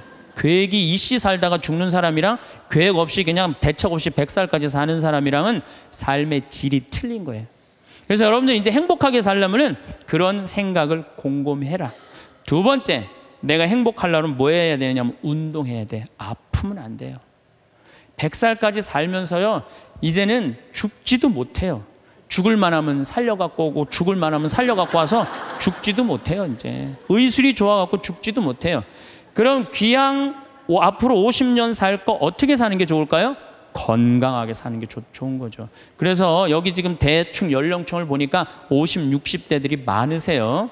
여러분들 대개 50, 60년 더 살아요. 그러면 여러분들 수영장 다니셔야 돼요. 수영장 가갖고 뭐 자유형 버터플라이 이런 거 하라는 거 아니에요. 수영장 걸어왔다 10분 왔다 갔다만 하면요. 산에 2시간 올라갔다 온 효과가 난대요. 허벅지에 근육이 안 풀리면은요. 죽을 때까지 누워서 뒤 가릴 수 있다는 거예요. 그런데 운동 안 하고 가만히 있는 할머니들 70살, 80살 되면요. 움직이지 못해요. 그럼 아들이 막 들었다가 화장실 갖다 놓고 씻고 그게 사는 거예요? 그렇게 100년, 100년까지 사는 거는 사는 게 아니죠. 그리고 여러분들 이제 한 70, 80대 갖고 이제 똥오줌 싸기 시작하면요. 여러분들 어디 위에 누워서 자느냐 비닐 위에 누워서 자요. 비닐, 이불을 맨날 빨 수 없잖아요. 그러니까 비닐을, 두꺼운 비닐을 깐다고요. 그럼 거기서 이제 똥 싸면 이제 그거 딱 꺼내고 거기 또 뉘우고 똥 싸면 또 뉘우고 그러는 거예요. 그렇게 살기 싫으면 어떻게 해야 돼요? 운동해야 돼. 수영장 다니. 무슨 돈으로? 집 잡혀서. 여러분들 자식들한테 재산을 물려준다고 자식들한테 재산을 물려준다고 자식을 사랑하는 길이 아니에요. 늙어서 자식 나 신경 안 쓰고 자기네들 나름대로 잘 살게 도와주는 게 어떻게 하는 거예요? 자식 도와주는 거예요. 그러니까 지금 누구한테 잘해주는 게 나한테 잘해주는 게 누구 도와주는 거야? 자식 도와주는 거예요. 그래서 여러분들 이제 자신을 위해서 사세요. 옛날에 40살, 50살까지 살 때는요, 자식 위해서 살아도 돼요. 왜? 내가 그냥 대충 살다가 적당히 알아서 죽어주, 주니까. 한 부모가 46, 47에 죽어주면은요, 병이 들어도요, 별로 자식들 힘들이지도 않아요. 근데 70살에서부터 누워서 100살까지 누워있으면은요, 자식 미치는 거예요. 그러니까 누구한테 오늘 이후부터 잘해줘라? 본인한테 잘해줘라. 그 다음, 이제 100살까지 사는 세상에는 친구가 중요해요. 친구가. 한 살서부터 50살까지 살 때는 자식, 남편, 아내, 이게 전부예요. 근데 50살서부터 100살까지는요, 자식은 떠나고 누구하고만 살아? 아내하고만 살아요. 남편하고만 살아요. 그 아내, 남편 이러고 둘이서 50년 동안 쳐다보고 있으면은요, 미쳐요. 친구는 이제 나이를 따지면 안 돼요. 친구. 난 제일 친한 친구가 86살이에요. 86살. 한 말씀드렸잖아요. 우리 어, 생태마을 꾸며준 신부님. 얼마나 나한테는 소중한 친구예요. 그래서 나는 그분 지금 우리 생태마을에 내가 집 져놓고 같이 모시고 살아요. 제가 일주일에 최소한 두세 번은 같이 식사를 해요. 얼마나 좋아요. 86살 되셔갖고 나하고 같이 밥 먹고. 난또 72살 먹은 친구도 있어요. 여자친구, 여자친구. 어, 어. 친구는 나이가 많을수록 좋아요. 나이가 많으면 돈이 많아요. 돈이. 어. 그래서 여러분들, 나이 많은 친구 많이 사귀세요. 또 나는 또 일곱 살짜리 여자친구도 있어요. 우리 생태마을에 부활절 때 성탄 때마다 꼭 와요. 너무 예뻐요. 미사 참여하면 천사야, 천사. 하늘에서 내려준 천사. 그래서 작년에는 너무 예뻐서 내가 30만 원짜리 드레스를 강의 나올 때 사서 입혔어요. 너무 예쁘더라고요. 나이를 먹으면요 입은 다물고요 주머니는 열으라고 그랬어요. 나도 이제 주머니를 열 나이가 된 거예요. 예. 친구를 사귀는데 돈을 아끼지 마세요. 친구를 사귀는데 아낌없이 돈보다 더 소중한 건 친구예요. 제가 어제 상지대학의 교수님들한테 강의를 갔는데 교수님 한 분이 어, 강의 끝나고 오셨어요. 신부님 나머지는 다 신부님 하는 대로 내가 잘 사는데 친구가 없네요. 내가 은퇴를 했는데 너무 혼자 있는 게 힘들다는 거예요. 여러분들 부부 싸움을 했어. 내가 정말 이 집에서 정말로 더럽고 치사해서 내가 못 산다. 자매님들 저녁 10시에 보따리 싸들고 나왔어. 딱 나왔을 때 친구한테 전화해 갖고 친구야 나 지금 보따리 싸갖고 나왔거든. 나 좀 재워줘라. 라고 전화할 수 있는 친구 세명 있느냐? 있으세요? 그 집에 남편도 있고 자식도 있고 그런데 그 집에 가고 남편 딴 방에 가서 자라고 그러고 그 친구랑 잘 수 있는 친구 세 명이 있어요? 차라리 찜질방 가서 자는 게 낫지. 응? 그런 친구 세 명이 있어야 된다는 거예요. 저는 우리 생태마을이 올해도 한 3만 5천 명이 왔어요. 어, 사람들이 왜 이렇게 많이 오느냐고 그래요. 또 음, 주교님들도 그렇게 물어보세요. 어, 이렇게 운영이 잘 되느냐고 음, 다른 교구 주교님들이 음, 저는 친구 때문에 그래요. 저는 우리 수원교구 신부가 400명이에요. 그럼 내가 농약 안 친 배추를 해갖고 제일 먼저 김장을 담아갖고 누구한테 보내주느냐? 우리 신부들한테 다 보내줘요. 왜? 신부한테는 신부가 최고 아니에요. 다 보내줘요. 그럼 농약 안 친 배추로 내가 선물로 하는 거예요. 또 청국장 가루 이거 참 좋거든요. 사나이가 갑바가 있어야지 맞아요. 그리고 내가 하나씩 한 통씩 다 보내줘요. 그러니까 5년 동안 우리 수원교구 신부들은 나한테 매년 뭐 감자, 옥수수, 뭐 된장, 뭐 청국장, 김장 선물로 받는 거예요. 그러니까 1월 달에 주일학교 선생들이 신부님 우리 주일학교 여름에 어디로 보낼까요? 평창. 나한테 얻어먹은 게 얼만데. 레지오 야외 어디로 보낼까요? 평창. 기브 앤드 테이크예요. 나는 친구가 목사님 친구들도 많고 스님 친구들도 많아요. 그래서 그냥 목사님들이 놀러 오라고 스님들이 저 지리산 스님 꼭 놀러 오라고. 근데 시간이 너무 없는 거야. 나 그 친구들 다 만나러 다니려면 200살 살아도 모자라 지금. 친구가 많은 거는요. 너무너무 할 일이 많은 거예요. 친구들하고는 어울려 지내는 게 얼마나 즐거워요. 그렇죠? 여러분들 지금부터라도 친구를 사귀세요. 친구는 세 가지를 따지면 안 돼요. 나이, 지위, 재산. 이거 다 무시하고 그 세 가지를 무시하고 사람 대 사람으로. 그래서 여러분들 멘토가 필요한 거, 멘토가. 나의 삶에 정신적으로 나를 이끌어 줄 수 있는 멘토가 꼭 필요한 거예요. 난 아무도 없다. 그런 사람들이 자살하고 그런 사람들이 험악한 일을 딱 당하는 거죠. 그래서 우리가 이제 100년 사는 인생에는 자식만 전부가 아니고 남편, 아내가 전부가 아니고 누가 중요하다? 친구가 아주 중요하다. 자, 또 이제 행복하게 살려면 텔레비 시청을 제발 좀 줄여라. 이 텔레비전이 문제 중에 문제예요. 제가 보기에는 우리 할머니들 가끔 나한테 이래요. 신부님 잠이 안 와요. 이런 할머니들 아침부터 저녁까지 텔레비전 본 거예요.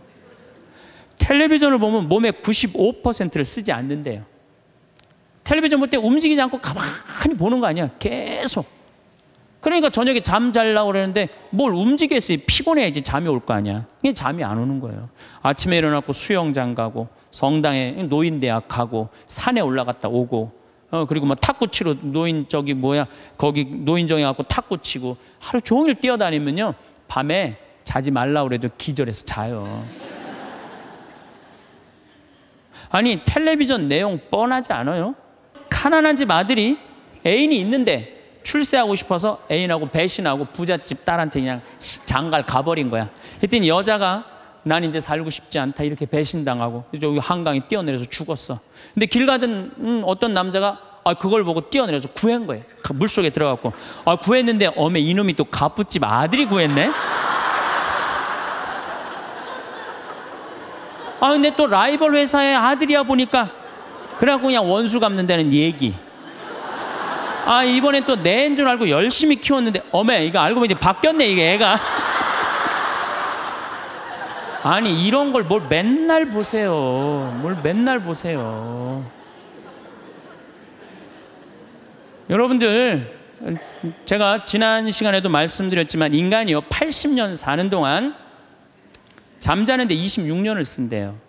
그리고 일하는데 21년을 쓴대요. 텔레비전 보는데 10년을 쓴다는 거예요. 10년을.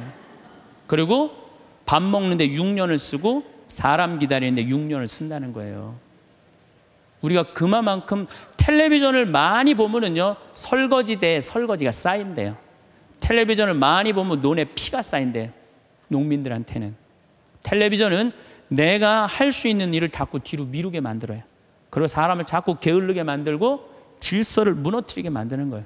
텔레비전을 보려고 해도 사건 중심의 드라마를 보라는 거예요. 사건 중심의. 맨날 애정 그런 거 보시지 마시고 요즘 저는 지금 못 봤는데 지금 두 번을 봤어요. 뿌리 깊은 나무라고 세종대왕이 한글 반포하는 과정 너무 훌륭한 프로그램이에요. 난 뭐 그 회사에서 돈 받은 것도 없지만은 너무 훌륭한 프로그램이에요. 두 번을 봤는데 글이 얼마나 중요한지 정말로 잘 표현했더라고요. 그런 걸 보시라는 거예요. 내셔널 지오그래픽, 히스토리 채널, 평화 방송 뭐 이런 거 보라는 거예요. 제 얘기는 괜히 그냥 응? 남편이 그냥 물에 빠져 죽였는데 그냥 또 살아나갖고 점 찍고 나타나갖고 그냥 뭐 이런 거 보시지 마시고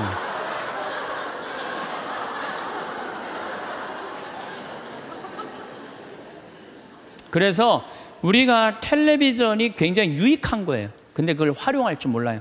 아침부터 무작정 보는 거예요. 무작정. 네. 그래서 텔레비전을 많이 보면 치매에 걸릴 확률이 굉장히 높다는 거예요. 움직이지 않으니까. 움직이지 않으니까. 그래서 여러분들 텔레, 저한테 많은 분들이 신분이 그렇게 바쁜데 언제 책을 세 권이나 쓰시느냐고 텔레비전만 안 보면 돼요. 텔레비전을 안 보고 4시간 하루에 투자하면은요. 1년만 책상에 앉아 있으면 책 한 권 나와요. 그 시간 텔레비전 보는 시간인데 그것만 안 보면은 책이 한 권 나오는 거예요. 그래서 여러분들도 아, 앞으로 50년 동안 어떻게 텔레비전만 보고 살겠어요. 그래서 이제 100년 사는 인생에 행복하고 싶으면 공부해야 돼, 공부. 공부하셔야 돼, 이제는. 초등학교 6년, 중등고등학교 6년 배워갖고요. 60살까지 울고 먹는 거예요. 최대한 봐준다고 해도 60살까지 울고 먹는 거예요. 그럼 60살에서부터 100살까지 살려면 뭐 해야 돼? 당연히 공부해야 돼요. 제가 어, 우리 교장 선생님들한테 강의 가고 또 교과부 장학사 선생님들한테 강의할 때 그런 얘기예요. 초등학교 절대 폐교하지 말라고. 초등학교 애들은 310만 명이지만 60세 이상은 거의 600만 명이에요. 그러니까 초등학교 1학년서 1반부터 3반까지는 8살 다니게 하고 60살서부터 65살까지 가방 들고 학교 가게 하는 거예요. 의무적으로 누구나 다. 그래갖고 4반부터 6반까지는 60살, 2학년, 응? 9살부터 1반부터 3반은 2학년, 60하나는 4반부터 6반까지는 60하나. 그래갖고 가방 들고 학교 가게 하는 거야. 그리고 1반 애들, 저 3반 애들, 4반 애들, 저기 뭐야, 애들이라니, 1반 아이들, 4반 늙은 아이들, 학교 다니는 아이들, 자매 결혼 시켜주는 거예요. 학교 갈 때 데리고 가고, 수업 끝나면 집에 갖다 주고. 폭력이 어디 있어요, 폭력이. 그런 거 없어요. 그래서 제 지론은 60살부터 65살까지 학교 다니면서 재산 관리하는 방법, 자녀들과 좋은 인간관계 유지하는 방법, 건강 관리하는 방법, 그리고 여러 가지 배우는 거, 뭐 노노도 배워도 되고 얼마나 배울 게 많아요. 그 학교 졸업한 학생에 한해서 100살까지 살 자격증을 줘라. 산다고 사는 게 아니다. 그러니까 여러분들 이제 100년을 행복하게 살려면 어떻게 하셔야 돼요? 공부하셔야 돼. 내 사는 맛, 사는 멋. 저런 거 꼭 사서 읽어보라는 거예요. 꼭 책을 많이 사서 읽어보라는 거예요. 자, 그러고 난 다음에 행복하려면 어떻게 해야 되느냐? 웃어라. 웃으면 여러분들 행복해요. 마른린 먼노가 뭐라 그러냐면은 유머가 없는 남자를 상대하는 거는 날감자를 먹는 거와 같다 그래요. 그러니까 여러분들 만약에 남편이 30년 동안 생전 웃긴 소리 한 번도 안 했어. 그럼 여러분들은 30년 동안 날감자만 먹고 산 거예요. 날감자만. 아니 근데 60까지는 괜찮아. 60까지는. 근데 100살까지 생전 웃긴 얘기 안 해. 그럼 거의 100년 동안 날감자만 먹고 산 거예요. 그 사람 행복하겠어요? 안 행복하겠어요? 안 행복해요. 아인슈타인이요. 여러분들 언젠가 한번 봤을 거예요. 혀를 확 내물고 눈을 크게 뜨는 사진 보셨죠? 아인슈타인이 뭐라 그래요? 나의 천재성은 어디에서부터 시작된다? 유머에서부터 시작된다. 유머에서부터. 이탈리아 사람은 하루에 19분을 웃는데요. 독일 사람은 7분을 웃고 한국 사람은 하루에 1분 웃는다는 거예요. 1분 웃는. 그러니까 한국 사람들이 그래서 행복 지수가 떨어지는 거예요. 안 웃어서 행복 지수가 떨어지는 거예요. 여러분들 웃는 게 얼마나 좋으냐면요. 이 웃는 여자들을 보면은요. 이뻐요. 웃는 여자들을 보면 예뻐. 왜? 왜 이쁜 줄 아세요? 막 웃으면 장운동이 막 돼. 장운동이 되면 막 소화도 잘 되고 피부가 예뻐. 그럼 피부가 예쁘면 사람들이 아 예쁘다 그러면 또 웃어 막 웃어. 그럼 또 장운동이 또 돼. 아 장운동이 되면 또아 40이 되는데 얼굴이 예쁘다 그러면 또 막 웃어. 그럼 또 장운동이 돼. 계속 그 사람 이쁜 거예요. 계속. 그러니까 이쁜 여자는 이쁠 수밖에 없어요. 왜? 웃어서. 웃어서. 그런데 안 웃는 여자는요. 딱 안 웃어. 그럼 사람들이 말도 안 걸어. 맨날 인상 써. 그러니까 장 운동이 안 돼. 소화가 안 되는 거야. 그러니까 소화가 안 되니까 또 인상을 써. 그러니까 주위에서 인상 쓰니까 피해. 그러니까 피하니까 저거에 날또 피해야지. 그리고 또 인상을 써. 근데 장운동이 또 안 돼. 장 운동이 안 되니까 또 인상을 쓰고 그러니까 계속 인상을 쓰는 거야. 그럼 50살쯤 되면 안 웃은 사람은요. 얼굴에 굵은 주름만 있는 거야. 굵은 주름만. 그래갖고 그냥 얼굴이 보면은요. 이마에 막 칼자국 쫙 나 있고 막 이런데 칼자국 나 있는 거야. 그냥. 그러니까 안 웃는 사람은요. 결국은 웃는 사람이 나타나면 주위에 1m 사람들이 확 모여요. 안 웃는 사람이 딱 나타나면 갑자기 5m 뒤로 사람이 다 물러나요. 그 사람 주위로. 그러니까 나는 매력적인 사람이 되고 싶다. 그럼 웃으면 돼요. 여러분들, 사람은 520개의 근육이 있는데 마라톤을 할 땐 15개가 움직이는데 웃을 땐 230개가 움직인대요. 그러니까 그렇게 좋은 거예요. 여러분들 웃을 때요, 웃는 여자들, 웃는 남자들은 목 디스크도 안 걸려요. 왜 안 걸리는 줄 아세요? 웃으면서 계속, 계속 이러는데 목 디스크가 걸리겠어요? 어떤 사람들이 목 디스크 그냥 이러고 인상 쓰고 있는 사람, 이런 사람이 목 디스크 걸리는 거예요. 네. 웃는 게 정말로 중요한 거예요. 그래서 좀 유머를 좀 해라. 내가 어, 전 시간에 유머 그 하나 했죠. 예, 재미난 거 하나 했죠. 기억 안 나세요? 어, 어. 지금 또 재미난 유머 하나 할게요. 두 개 할게 두 개. 이 토끼의 집념이라는 유머예요. 이제까지는 강이고 지금은 유머예요. 토끼가 하루는 약국에 딱 들러갔고 아저씨 당근 있어요? 딱 그랬어요. 그때 약사가 토끼가 약국에서 당근을 찾으니까 기분이 나쁘단 말이에요. 약국엔 당근 없다. 딱 그랬어요. 알았어요. 그리고 갔어요. 다음날 또 토끼가 또 왔어요. 아저씨 당근 있어요? 이놈 새끼 약국이 당근 없대는데 왜 자꾸 찾아오느냐고 알았어요. 그리고 또 갔어요. 다음날 토끼가 또 왔어요. 아저씨 당근 있어요?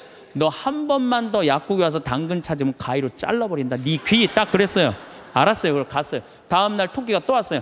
아저씨 가위 있어요? 그러니까 약국에 무슨 가위가 있느냐? 그러니까 이 토끼 하는 말이 아저씨 그럼 당근 있어요? 그러더래요.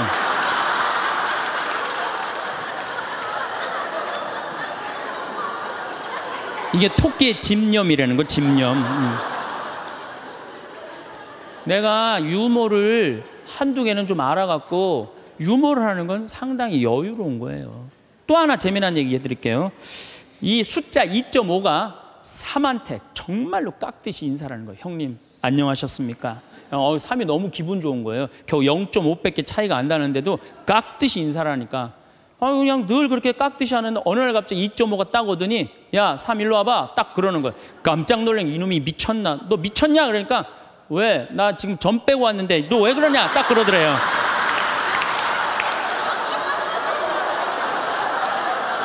아, 재밌어요? 응. 우리가 아, 살면서 유머라는 것은 분위기를 굉장히 부드럽게 만들어줘요. 그래서 여러분들 좀 삶에 여유가 있는 사람, 음, 이런 사람들이 유머를 잘 할 수가 있는 거예요.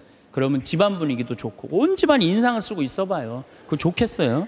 그래서 항상 웃어라 행복하고 싶으면 그리고 귀양 백년 사는 거 웃으면서 살면 좋지 않겠어요? 네. 웃는 사람. 그래서 일로 일로 일소 일소라고 그러는 거예요. 한 번 화내면 한 번 늙고 한 번 웃으면 한 번 젊어진다. 그게 장운동 때문에 그런 거예요. 장운동 때문에. 그래서 여러분들 행복하게 살고 싶으면 어떻게 하시면 돼요? 웃으시면 돼요. 자, 맨 마지막으로 제 모든 강의의 결론입니다. 자기한테 잘해줘라. 우리는 너무 자기 자신한테 함부로 대한다. 작년 2월 달에 우리 생태 마을에 대장암이 걸린 교회 다니는 자매가 하나 왔어요. 우리가 뭐 그때 암 환자들이 한 10명 있었는데 뭐 마리아, 데레사, 루시아 그러니까 하루 나한테 오더니 신부님 나도 본명 하나만 달라는 거 세례명 하나만 그 이제 그렇게 부르니까 어, 좀 음, 세례명이 부러웠나 봐요. 뭐 돈 드는 것도 아니니까 요한나 이거 가지라고 줬어요 내가 음, 뭐 공짜인데 뭐 요한나가 됐어 이 자매가 요한나가 됐는데 우리 생태마을에 작년에 암 환자가 한 10분 정도 있었는데 정말로 서로 마음이 맞는 거예요.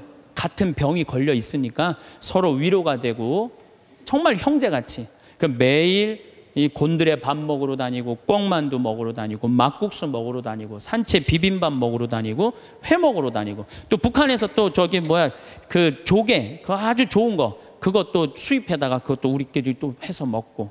아, 작년에는 정말로 즐겁게 살았어요. 그런데 이 자매가 3월 어, 말이 됐는데 뼈까지 다 전이가 된 거예요. 근데 암 환자가 뼈까지 전이가 되면 누워서 못 자요. 아파서. 앉아서 잔 거지. 다음날 성당 마당에서 날 만났어요. 날 또 꼭 끌어안더니 신부님 나 아무래도 죽을 것 같아요. 그런데 내가 여기 와갖고 3개월 동안 살면서 사는 게 이렇게 즐거운 건지 처음 알았대요. 아니 3천 원짜리 곤드레 밥을 먹으러 가도 이렇게 맛있고 즐거운 건 처음이래. 이렇게 같은 마음 통하는 우리 환자들이랑 환우들이랑 같이 먹어서 너무너무 행복했다는 거예요. 그런데 내 인생 48년을 돌아보면 행복했던 순간이 한 번도 없다는 거예요. 자기는 딸한테 하나도 안 미안하대. 딸 자기가 빌딩 청소하고 대학까지 졸업시켰다는 거예요. 남편한테도 하나도 안 미안하대. 자기 3개월 동안 와 있는 동안 한 번도 안 와봤다는 거예요. 근데 누구한테 미안하냐면 자기 자신한테 너무너무 미안하다는 거예요. 그리고 내 어깨에 눈물을 뚝뚝 흘리고 이 자매는 일주일 만에 세상을 떠났어요. 자, 여러분들은 지금 여기 지금 50, 60까지 사신 여러분들 열심히 살지 않으셨어요? 지금까지 그렇지 않아요? 그리고 또 이 우중충한 날 강의 듣겠다고 여기 오신 여러분들은 무조건 열심히 사신 분들이에요. 그럼 여러분들은 지금 누구한테 제일 잘해줘야 되느냐면은 본인한테 제일 잘해줘야 돼요. 나는 본당 신부 10년 할 동안 교우들이 정말로 잘해줬어요. 뭐 애 생기면 애 생겼다고 밥 사주고, 애 낳으면 애 낳았다고 밥 사주고, 뭐 그냥 정말로 그냥 건수가 얼마나 많은지 몰라요. 근데 내가 강원도 평창에 농사지로 딱 들어갔는데 사람이 아무도 없는 거예요. 나 밥 사주는 사람이 아무도 없는 거예요. 그리고 그냥 밤에 나오면 얼마나 깜깜한지 내 다리가 안 보여요. 다리가 보여야지 어딜 돌아다니까. 몸만 보여, 몸만. 강시 떠도 둥둥둥도 떠다니는, 강시 떠다니는 것처럼. 밥 사주는 사람도 없고 갈비 먹고 싶은데. 근데 난 갈비 먹고 싶으면 뭐라 그러냐면은 창현아 갈비 먹고 싶냐? 가자 내가 사줄게. 난 내한테 나한테 내가 사줘요. 내가 또 어 회 먹고 싶으면은 창현아 회 먹고 싶냐? 가자 내가 사줄게. 난 나한테 내가 사줘요. 나는 나한테 내가 사주니까 남한테 원망 안 해요. 왜 내가 즐겁게 먹으니까. 근데 여기는 우리 많은 자매님들 자기 돈으로 사몰 생각은 안 하고 아들이 사줄래나 남편이 사줄래나 1년 전에도 안 사주더니 또 안 사주네 이러고 그냥 맨날 청승을 떨면은요 알아주는 사람 아무도 없다고 그리고 여러분들 100년 동안 살 동안 여러분들 행복을 이웃이 챙겨줄 수 있을까요? 남편이 100년 동안 챙겨줄 수 있어요? 자식이 100년 동안 챙겨줄 수 있어요? 행복은 누가 챙기는 거냐면 내가 챙기는 거예요. 내가 나한테 행복할 수 있도록 해줘야 돼요.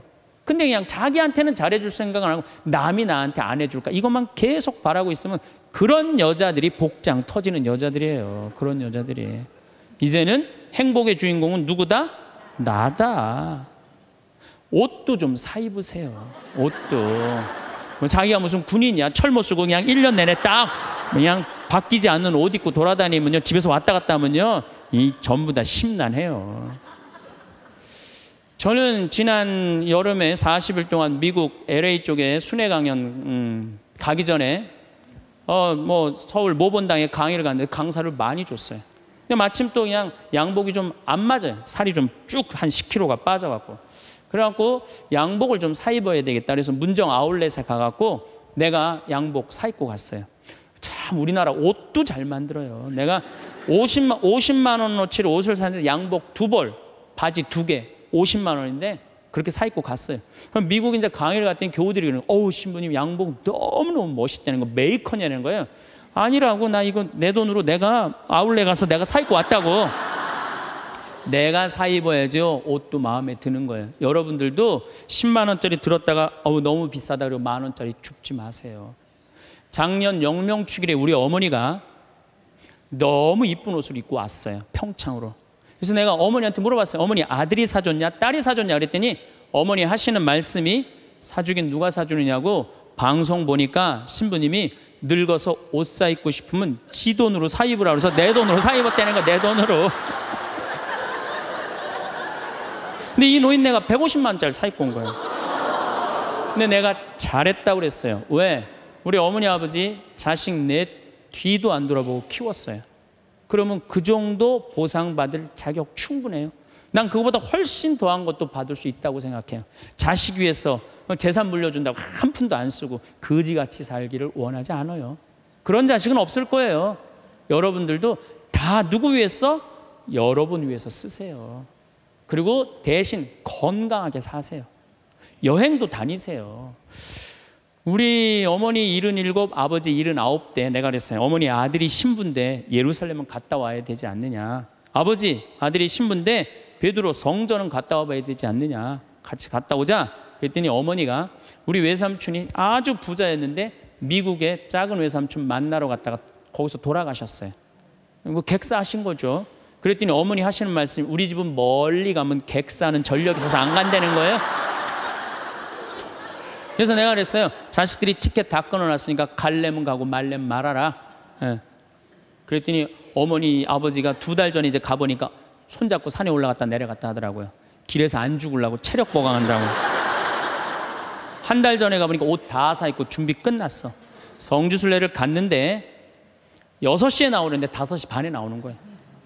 12일 동안 한 군데도 안 빼고 다 다니시는 거예요. 밥 먹으면서 내 손으로 안 하니까 밥도 너무 맛있다고 그냥 먹는 거예요. 그 토요일 날 저녁에 한국에 들어왔어요. 저녁 가족끼리 식사를 하고 저녁에 이제 헤어지고 다음 날 아침에 성주순례 간 사람들 전화를 하는데 다 비몽사몽이야. 집에 전화했는데 전화를 안 받는 거예요. 핸드폰도 안 받으시고 난 두 분이 너무 힘들어서 돌아가셨는 줄 알았어요. 근데 2시에 통화가 됐어요. 아, 아버지 왜 전화를 안 받느냐고. 그러니까 아버지가 자식들 전부 다 약숨을 떠다 대주시거든요. 그 이제 10일 동안 집을 배웠으니까 그 성주순례 끝나고 아침에 일어나고 약수도로 간 거예요. 어머니는 어디 가니까 파마로 간 거예요. 파마로. 나이 80대도 여행 다니는데 아무 문제 없어요.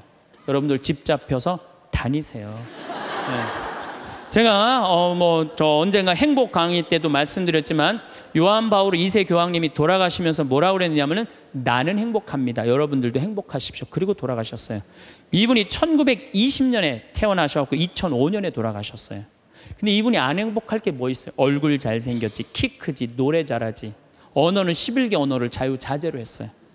그리고 오상 받으신 비오 신부님이 뭐라고 그랬냐면 저분은 교황 될 분이라고. 신부 되자마자 주교되고 주교 되자마자 추기경 되고 추기경 되자마자 교황 됐어요. 1981년에 교황이 돼서 2005년까지 24년 동안 교황 자리에 있었어요. 근데 이분 그렇게 청승 떨면서 안 살았어요. 하고 싶은 대로 하고 살았어요. 얼마나 하고 싶은 대로 하고 살았느냐면은 시성식을 2000년 동안 교황청에서만 했거든요. 근데 이분은 뭐라 그랬냐면 나는 나가서 한다. 누가 교황청에서 하라고 누가 정해놨느냐? 그래갖고 84년에 한국에 오셔서 시성식 하신 거예요. 파격적이시죠. 갈릴레오 갈릴레이 둥그렇다니까 그냥 옛날에 교황들이 평평한지 이놈은 뭐가 둥그러냐. 그러니까 교황님이 이번 교황님이 요한 바울 2세 교황님이 500년 만에 미안하다. 너 감옥에 가두고 탑에 가둬서 사과했어요. 동방교회 파문한 거 철회했어요. 그랬더니 동방교회 수익권 인정해 줬어요. 그리고 102회에 걸쳐서 136개 나라를 순방한 거예요. 거의 24년 동안 교황청에 있은 적이 없어요. 전 세계 돌아다니냐고. 그래서 그분을 평화의 사도라고 그러는 거예요. 해고 싶은 대로 다 하고 돌아가시면서 나는 행복합니다. 여러분들도 행복하십시오. 그리고 돌아가셨단 말이에요. 여러분들도 이제 그만 그만 자식 위해서 희생하세요. 그집 잡혀갖고 먹고 싶은 거, 입고 싶은 거, 여행 다니고 싶은 거 다 다니세요. 다 다니고 한 90살 때 이제 죽을 때쯤 통장에 500만 원 딱 남겨놓고 자식들 불러요. 부르고 이렇게 말하세요. 나는 행복했다. 하고 싶은 대로 다 해서. 니네들도 행복해라. 그리고 돌아가셔야 돼요. 제일 내가 가슴 아픈 분들이 어떤 분들이냐면은 한 60살쯤 암이 걸려갖고 인생 돌아보니까 고생만 했단 말이야. 그 죽을 때 울면서 딸 불러서 엄마처럼 살지 말아라. 그리고 죽는 사람이 제일 가슴 아파요. 여러분들 죽을 때 이렇게 말씀하고 돌아가셔야 돼요. 엄마처럼 살다가 행복하게 살다가 너희들도 마지막 날에 하늘나라에서 다시 만나자.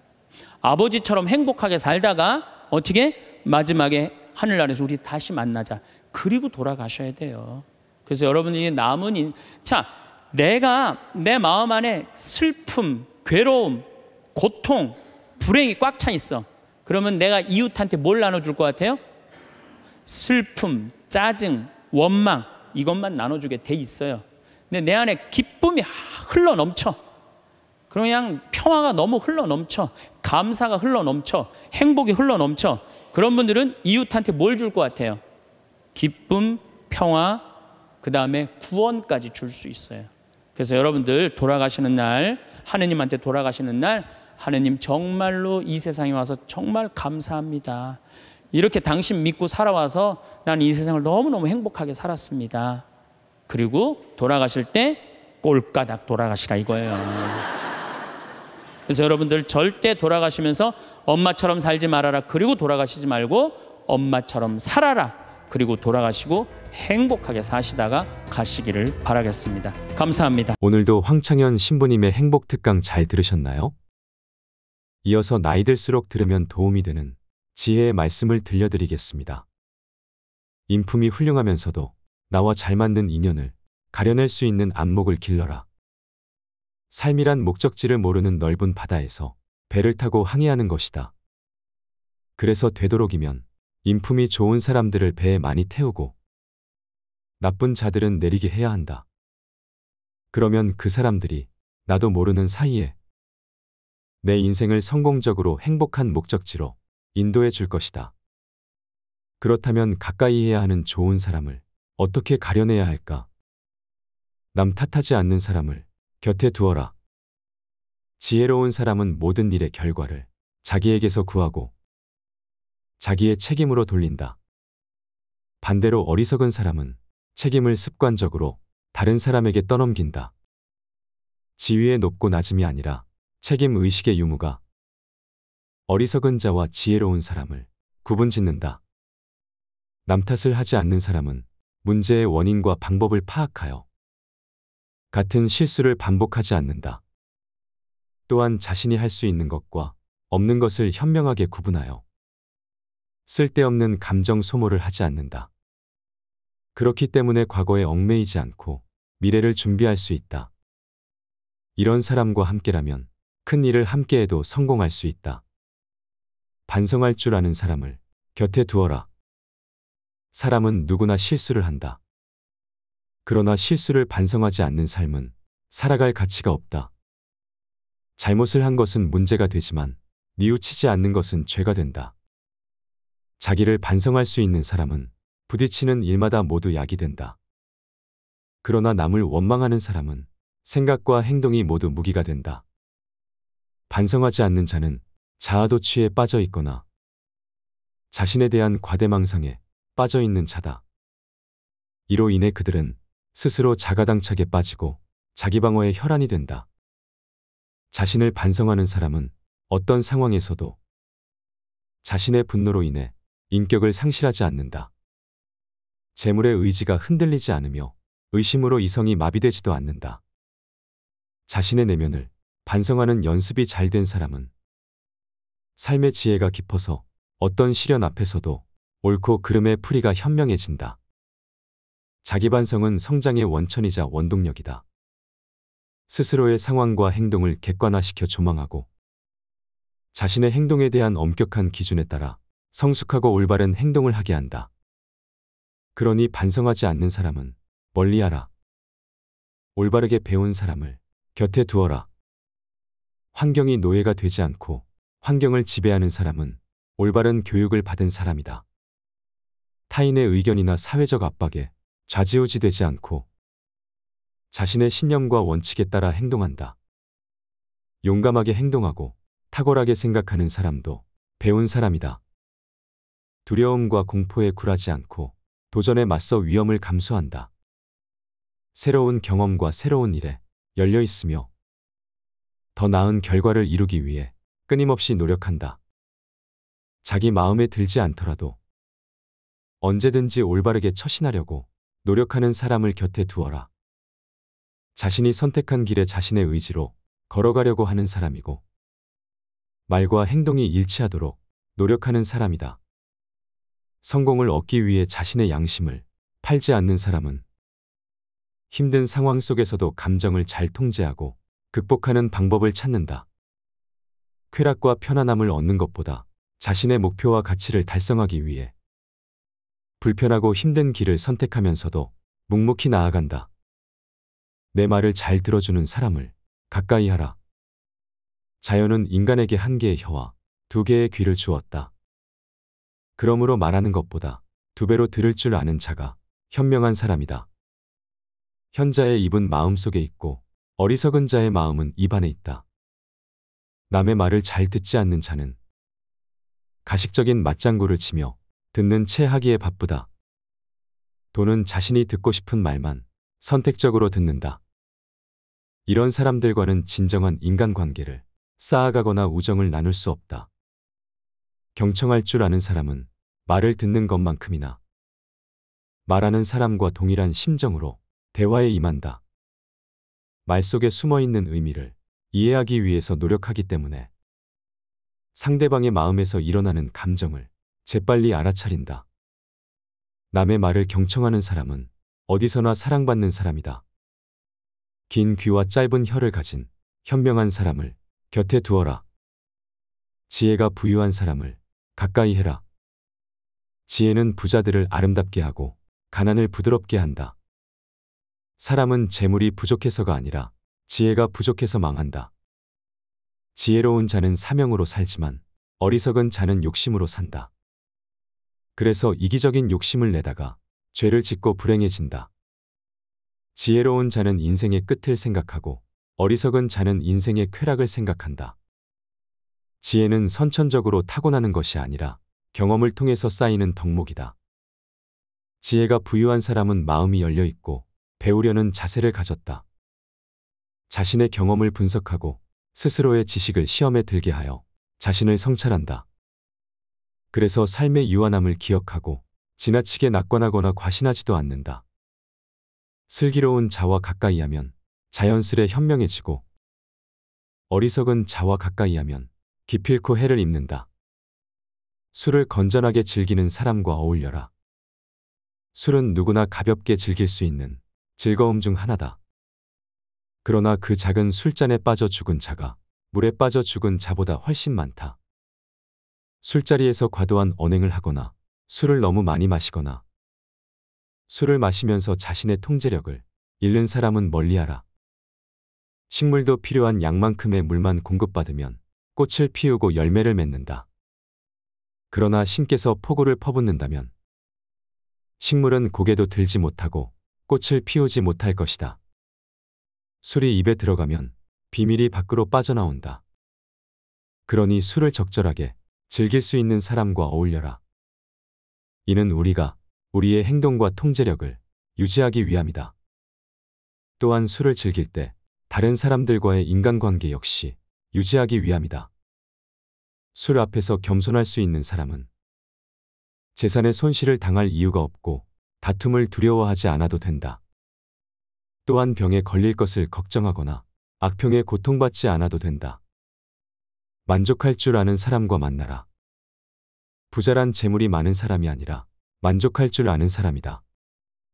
가장 적은 것으로도 만족하는 사람이 가장 부유한 사람이다. 모든 고뇌에서 벗어나고자 한다면 먼저 만족하라. 그러면 맨땅 위에 누워서도 편안하고 즐겁다. 그러나 만족할 줄 모르면 어디에 있든지 흡족하지 않을 것이다. 만족할 줄 모르는 자는 부유하더라도 가난하고 만족할 줄 아는 사람은 가난하더라도 부유하다. 만족하는 사람은 이익을 위해 스스로를 얽매이지 않는다. 삶을 가장 크게 방해하는 것은 남과 비교하는 것이다. 비교는 내 마음 속에 탐욕을 자라게 한다. 온전히 나의 삶에 전념할 때야말로 내가 가진 것의 소중함을 알게 되고 내가 가진 것에 대해 만족할 수 있다. 모르는 것을 모른다고 할 수 있는 사람을 가까이 해라. 자신이 현명하다고 떠드는 이들은 실제로는 참된 지식을 알지 못하는 자들이다. 그들은 자신이 무지하다는 것조차 알지 못한다. 자기가 무엇을 모르는지를 모르면 무지에서 벗어나고자 노력할 가능성조차 없다. 아는 것을 모른다고 하는 사람은 정직하지 않은 사람이거나 기회를 엿보는 사람이다. 그러나 이보다 더 위험한 사람은 모르는 것을 안다고 하는 자다. 이들은 거짓말을 일삼고 배우기가 어려운 사람이다. 쓸데없는 데에 자존심을 세우고 싸움에서 꼭 이겨야만 직성이 풀린다. 아는 것을 안다고 하는 사람은 정직하거나 단순한 사람이다.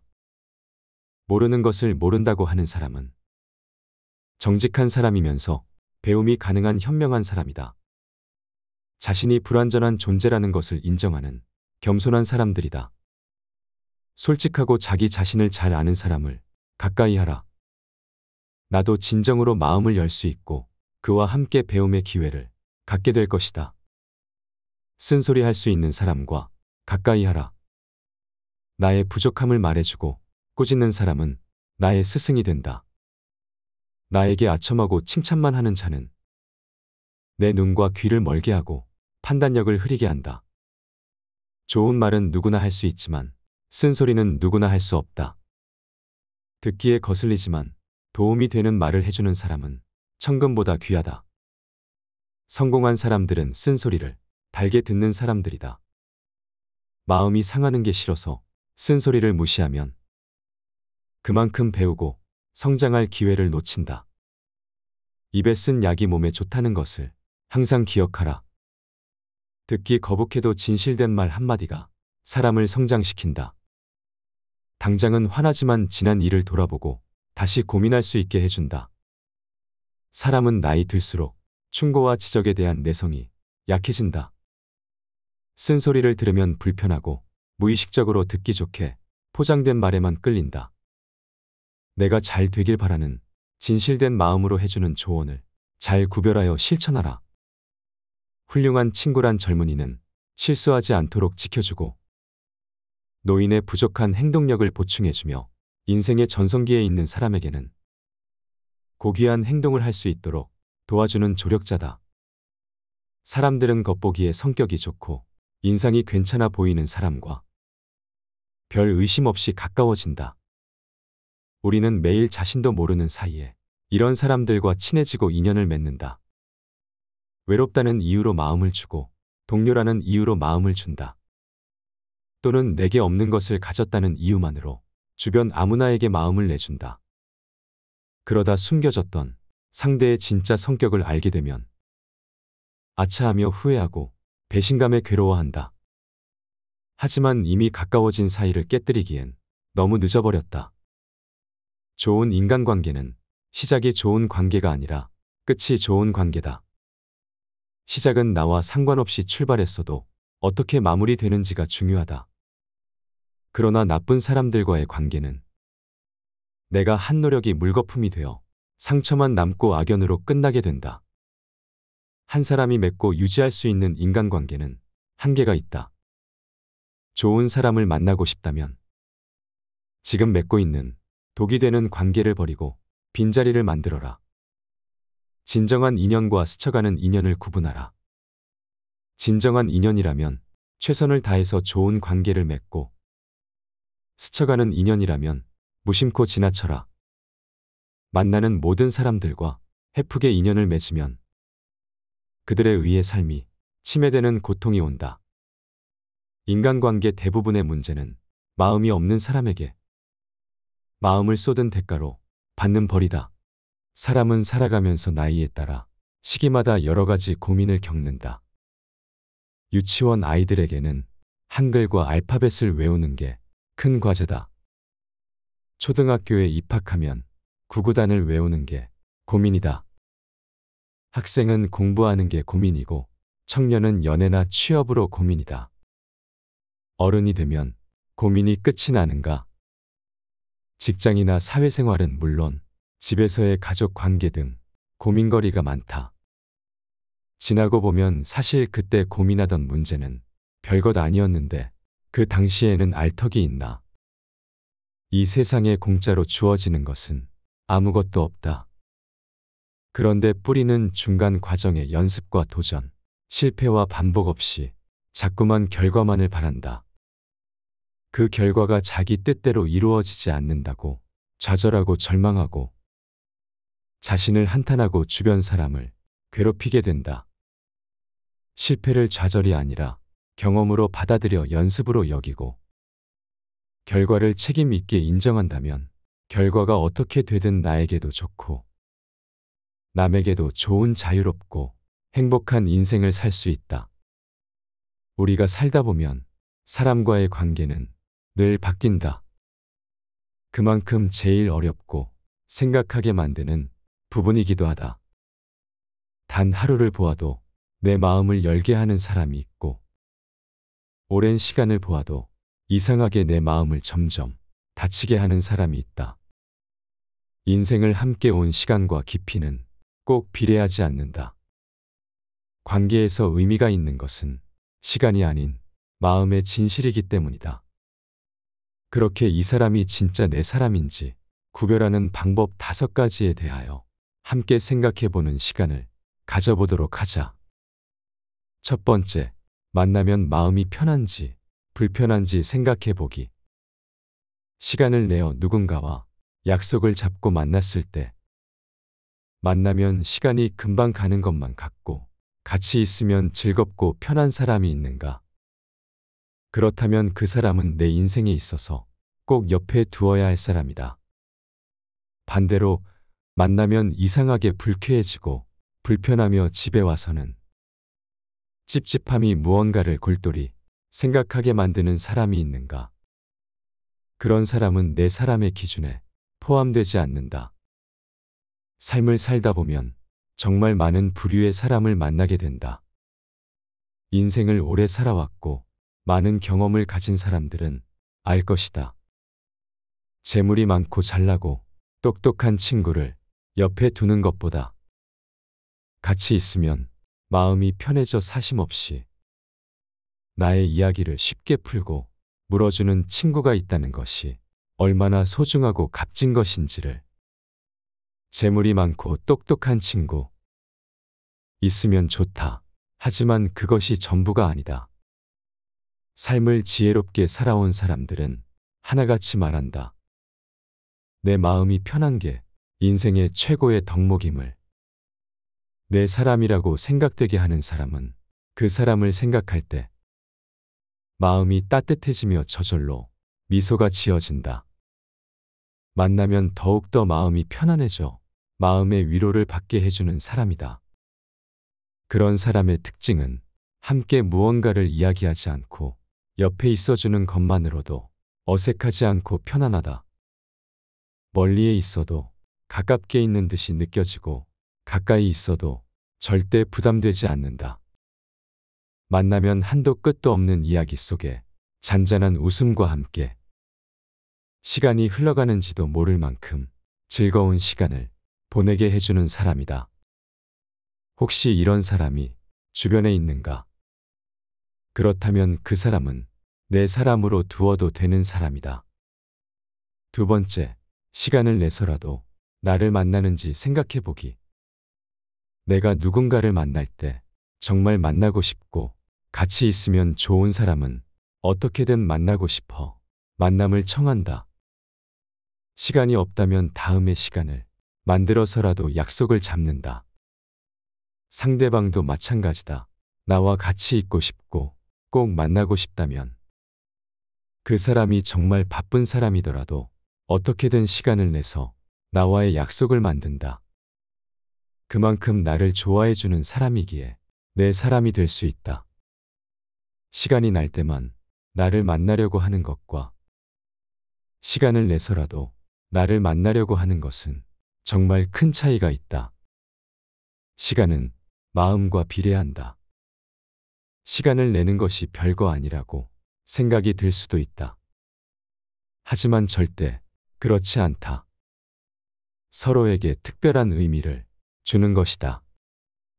하루하루 바빠 자기 자신의 시간도 제대로 가지지 못하는 현대 사회에서 나에게 시간을 내서 만난다는 것은 그만큼 나라는 존재를 깊이 생각하고 있다는 것이다. 나를 찾아주는 사람이 있다는 것은 정말 소중하고 값진 일이다. 세 번째, 안 맞는 점도 인정하고 받아들이는지 생각해 보기. 사람은 누구나 완벽할 수는 없다. 누구나 장점이 있고 단점이 있기 마련이다. 사람은 모두 성격과 기질, 그리고 살아온 환경이 다르다. 그렇게 타인과 내가 다름을 인정하고 존중하는 것은 어려우면서도 평생 이해 못할 영역 중 하나이기도 하다. 하지만 완벽하게 모든 것을 이해할 수는 없어도 성숙한 어른이라면 이해하려고 노력이라도 해보려고 한다. 상대방과 내가 다르다는 것은 어쩔 수 없는 영역이다. 모든 것이 통할 수는 없기 때문이다.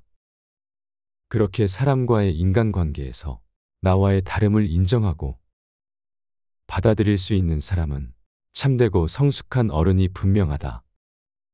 그리고 그만큼 공감 능력이 뛰어난 사람이다. 인정을 하면 상대방을 이해할 수 있음을 누구보다도 잘 알고 있기 때문이다. 인생에 정답이 없듯이 사람도 누가 맞고 누가 틀리고는 존재하지 않다. 이러한 것을 이해하려고 하는 사람은 상대방을 존중하며 받아들일 수 있는 것이다. 이런 사람은 그릇이 큰 사람이기에 내 사람으로 두어야 할 사람 중 한 명이다. 다른 것이지 틀린 것이 아님을 잘 알기 때문에 함께 있으면 다툼이 나는 일도 적고 인생을 살아갈 때 더불어 둥글게 살아갈 수 있는 사람이기에 함께 있으면 좋은 사람이다. 네 번째, 나를 존중해 주는지 생각해 보기. 서로가 서로를 존중할 때 서로를 함부로 대할 수 없다. 내가 상대방을 존중해 주는데 상대방은 나를 무시하고 험하게 대한다면 그 사람은 절대 내 사람이 될 수 없다. 만약 나를 무시하고 낮춰보는 사람이 있다면 하루빨리 그 사람과의 관계를 끊어내기를 바란다. 내 자신을 가치 있게 해주고 존중해주는 사람과의 삶에서 살아야 한다. 존중을 받는다는 것이 거창하고 대단한 것이 아니다. 있는 그대로의 나를 받아들이고 인정해주며 내가 말하는 모든 것을 함부로 폄하하지 않는 것을 말한다. 나의 말에 귀 기울여주고 나를 인격적으로 대해주는 사람은 내 인생에 있어서 내가 절대 놓쳐서는 안 되는 사람이다. 나라는 존재를 존중해 준다는 것은 나를 중요한 사람으로 인정해 주는 것과 같다. 존중하며 이해하는 사람은 나를 더욱더 성장시키며 내 삶에 있어서 에너지를 얻어 긍정적인 삶을 살 수 있도록 힘을 키워낸다. 나를 그렇게 만들어 줄 수 있는 사람이 단 한 명이라도 곁에 있다는 것은 성공한 삶이라고 할 수 있다. 존중을 받는다는 것은 나의 자존감을 높여주는 대단한 힘이다. 존중을 받는다는 것은 내 인생에 있어 정말 큰 선물이다. 그러한 큰 힘과 선물을 주는 사람은 꼭 내 사람으로 두어야 한다. 다섯 번째, 내가 힘들 때 곁에 있어주는지 생각해 보기. 인생은 항상 평탄하지는 않다. 행복한 시기도 있지만 아닌 시기도 분명 존재한다. 내가 잘 되고 행복할 때 함께 기뻐해주고 곁에 있어주는 사람이 있다는 것은 너무나도 감사하고 좋은 일이지만 내가 정말 힘들 때 곁에 있어주는 사람은 내 인생에 있어서 무조건 옆에 고이고이 소중하게 두어야 할 사람이다. 너무나도 힘든 고통과 절망 속에서 허우적거리고 있을 때, 삶이 너무 힘들어 주체 없이 흔들릴 때, 정말 진심으로 필요한 것은 내 옆에 묵묵히 있어주는 따뜻한 온기이며 사람이다. 무언가를 대단하게 하지 않고 옆에 있는 것만으로도 힘이 되는 사람이 있다. 내가 슬플 때 조용히 눈물을 닦아주고 말을 들어주고 응원을 해주며 옆을 지켜주는 사람이 있다면 그 사람은 내 인생에 있어 함께 하기에 값진 사람이다. 이런 사람은 내 사람임을 깨닫고 소중하게 대해 주어야 한다. 어떤 사람이 진짜 내 사람이고 내 옆에 둬야 하는지 진국인 내 사람을 알아보는 것은 엄청난 능력이다. 내 인생을 찬란하고 값지게 만들어 주기 때문이다. 한 번쯤 이런 생각을 해봤으면 한다. 당장 내일 무슨 일이 일어날지 모르는 이 인생사에서 무슨 일이 일어나도 아무 문제가 없는 삶을 살아가는 것. 이것이 고마움이고 행복이다. 비가 오면 비가 오는 대로 좋고, 맑으면 맑은 대로 좋고, 추우면 추운 대로 좋고, 또 더우면 더운 대로 좋다. 그렇게 마음이 자유로운 삶이 행복으로 가는 길이며 마음의 봄이다. 늘 행복한 당신에게는 자연스레 주변에 좋은 사람들이 분명히 함께 할 것이다.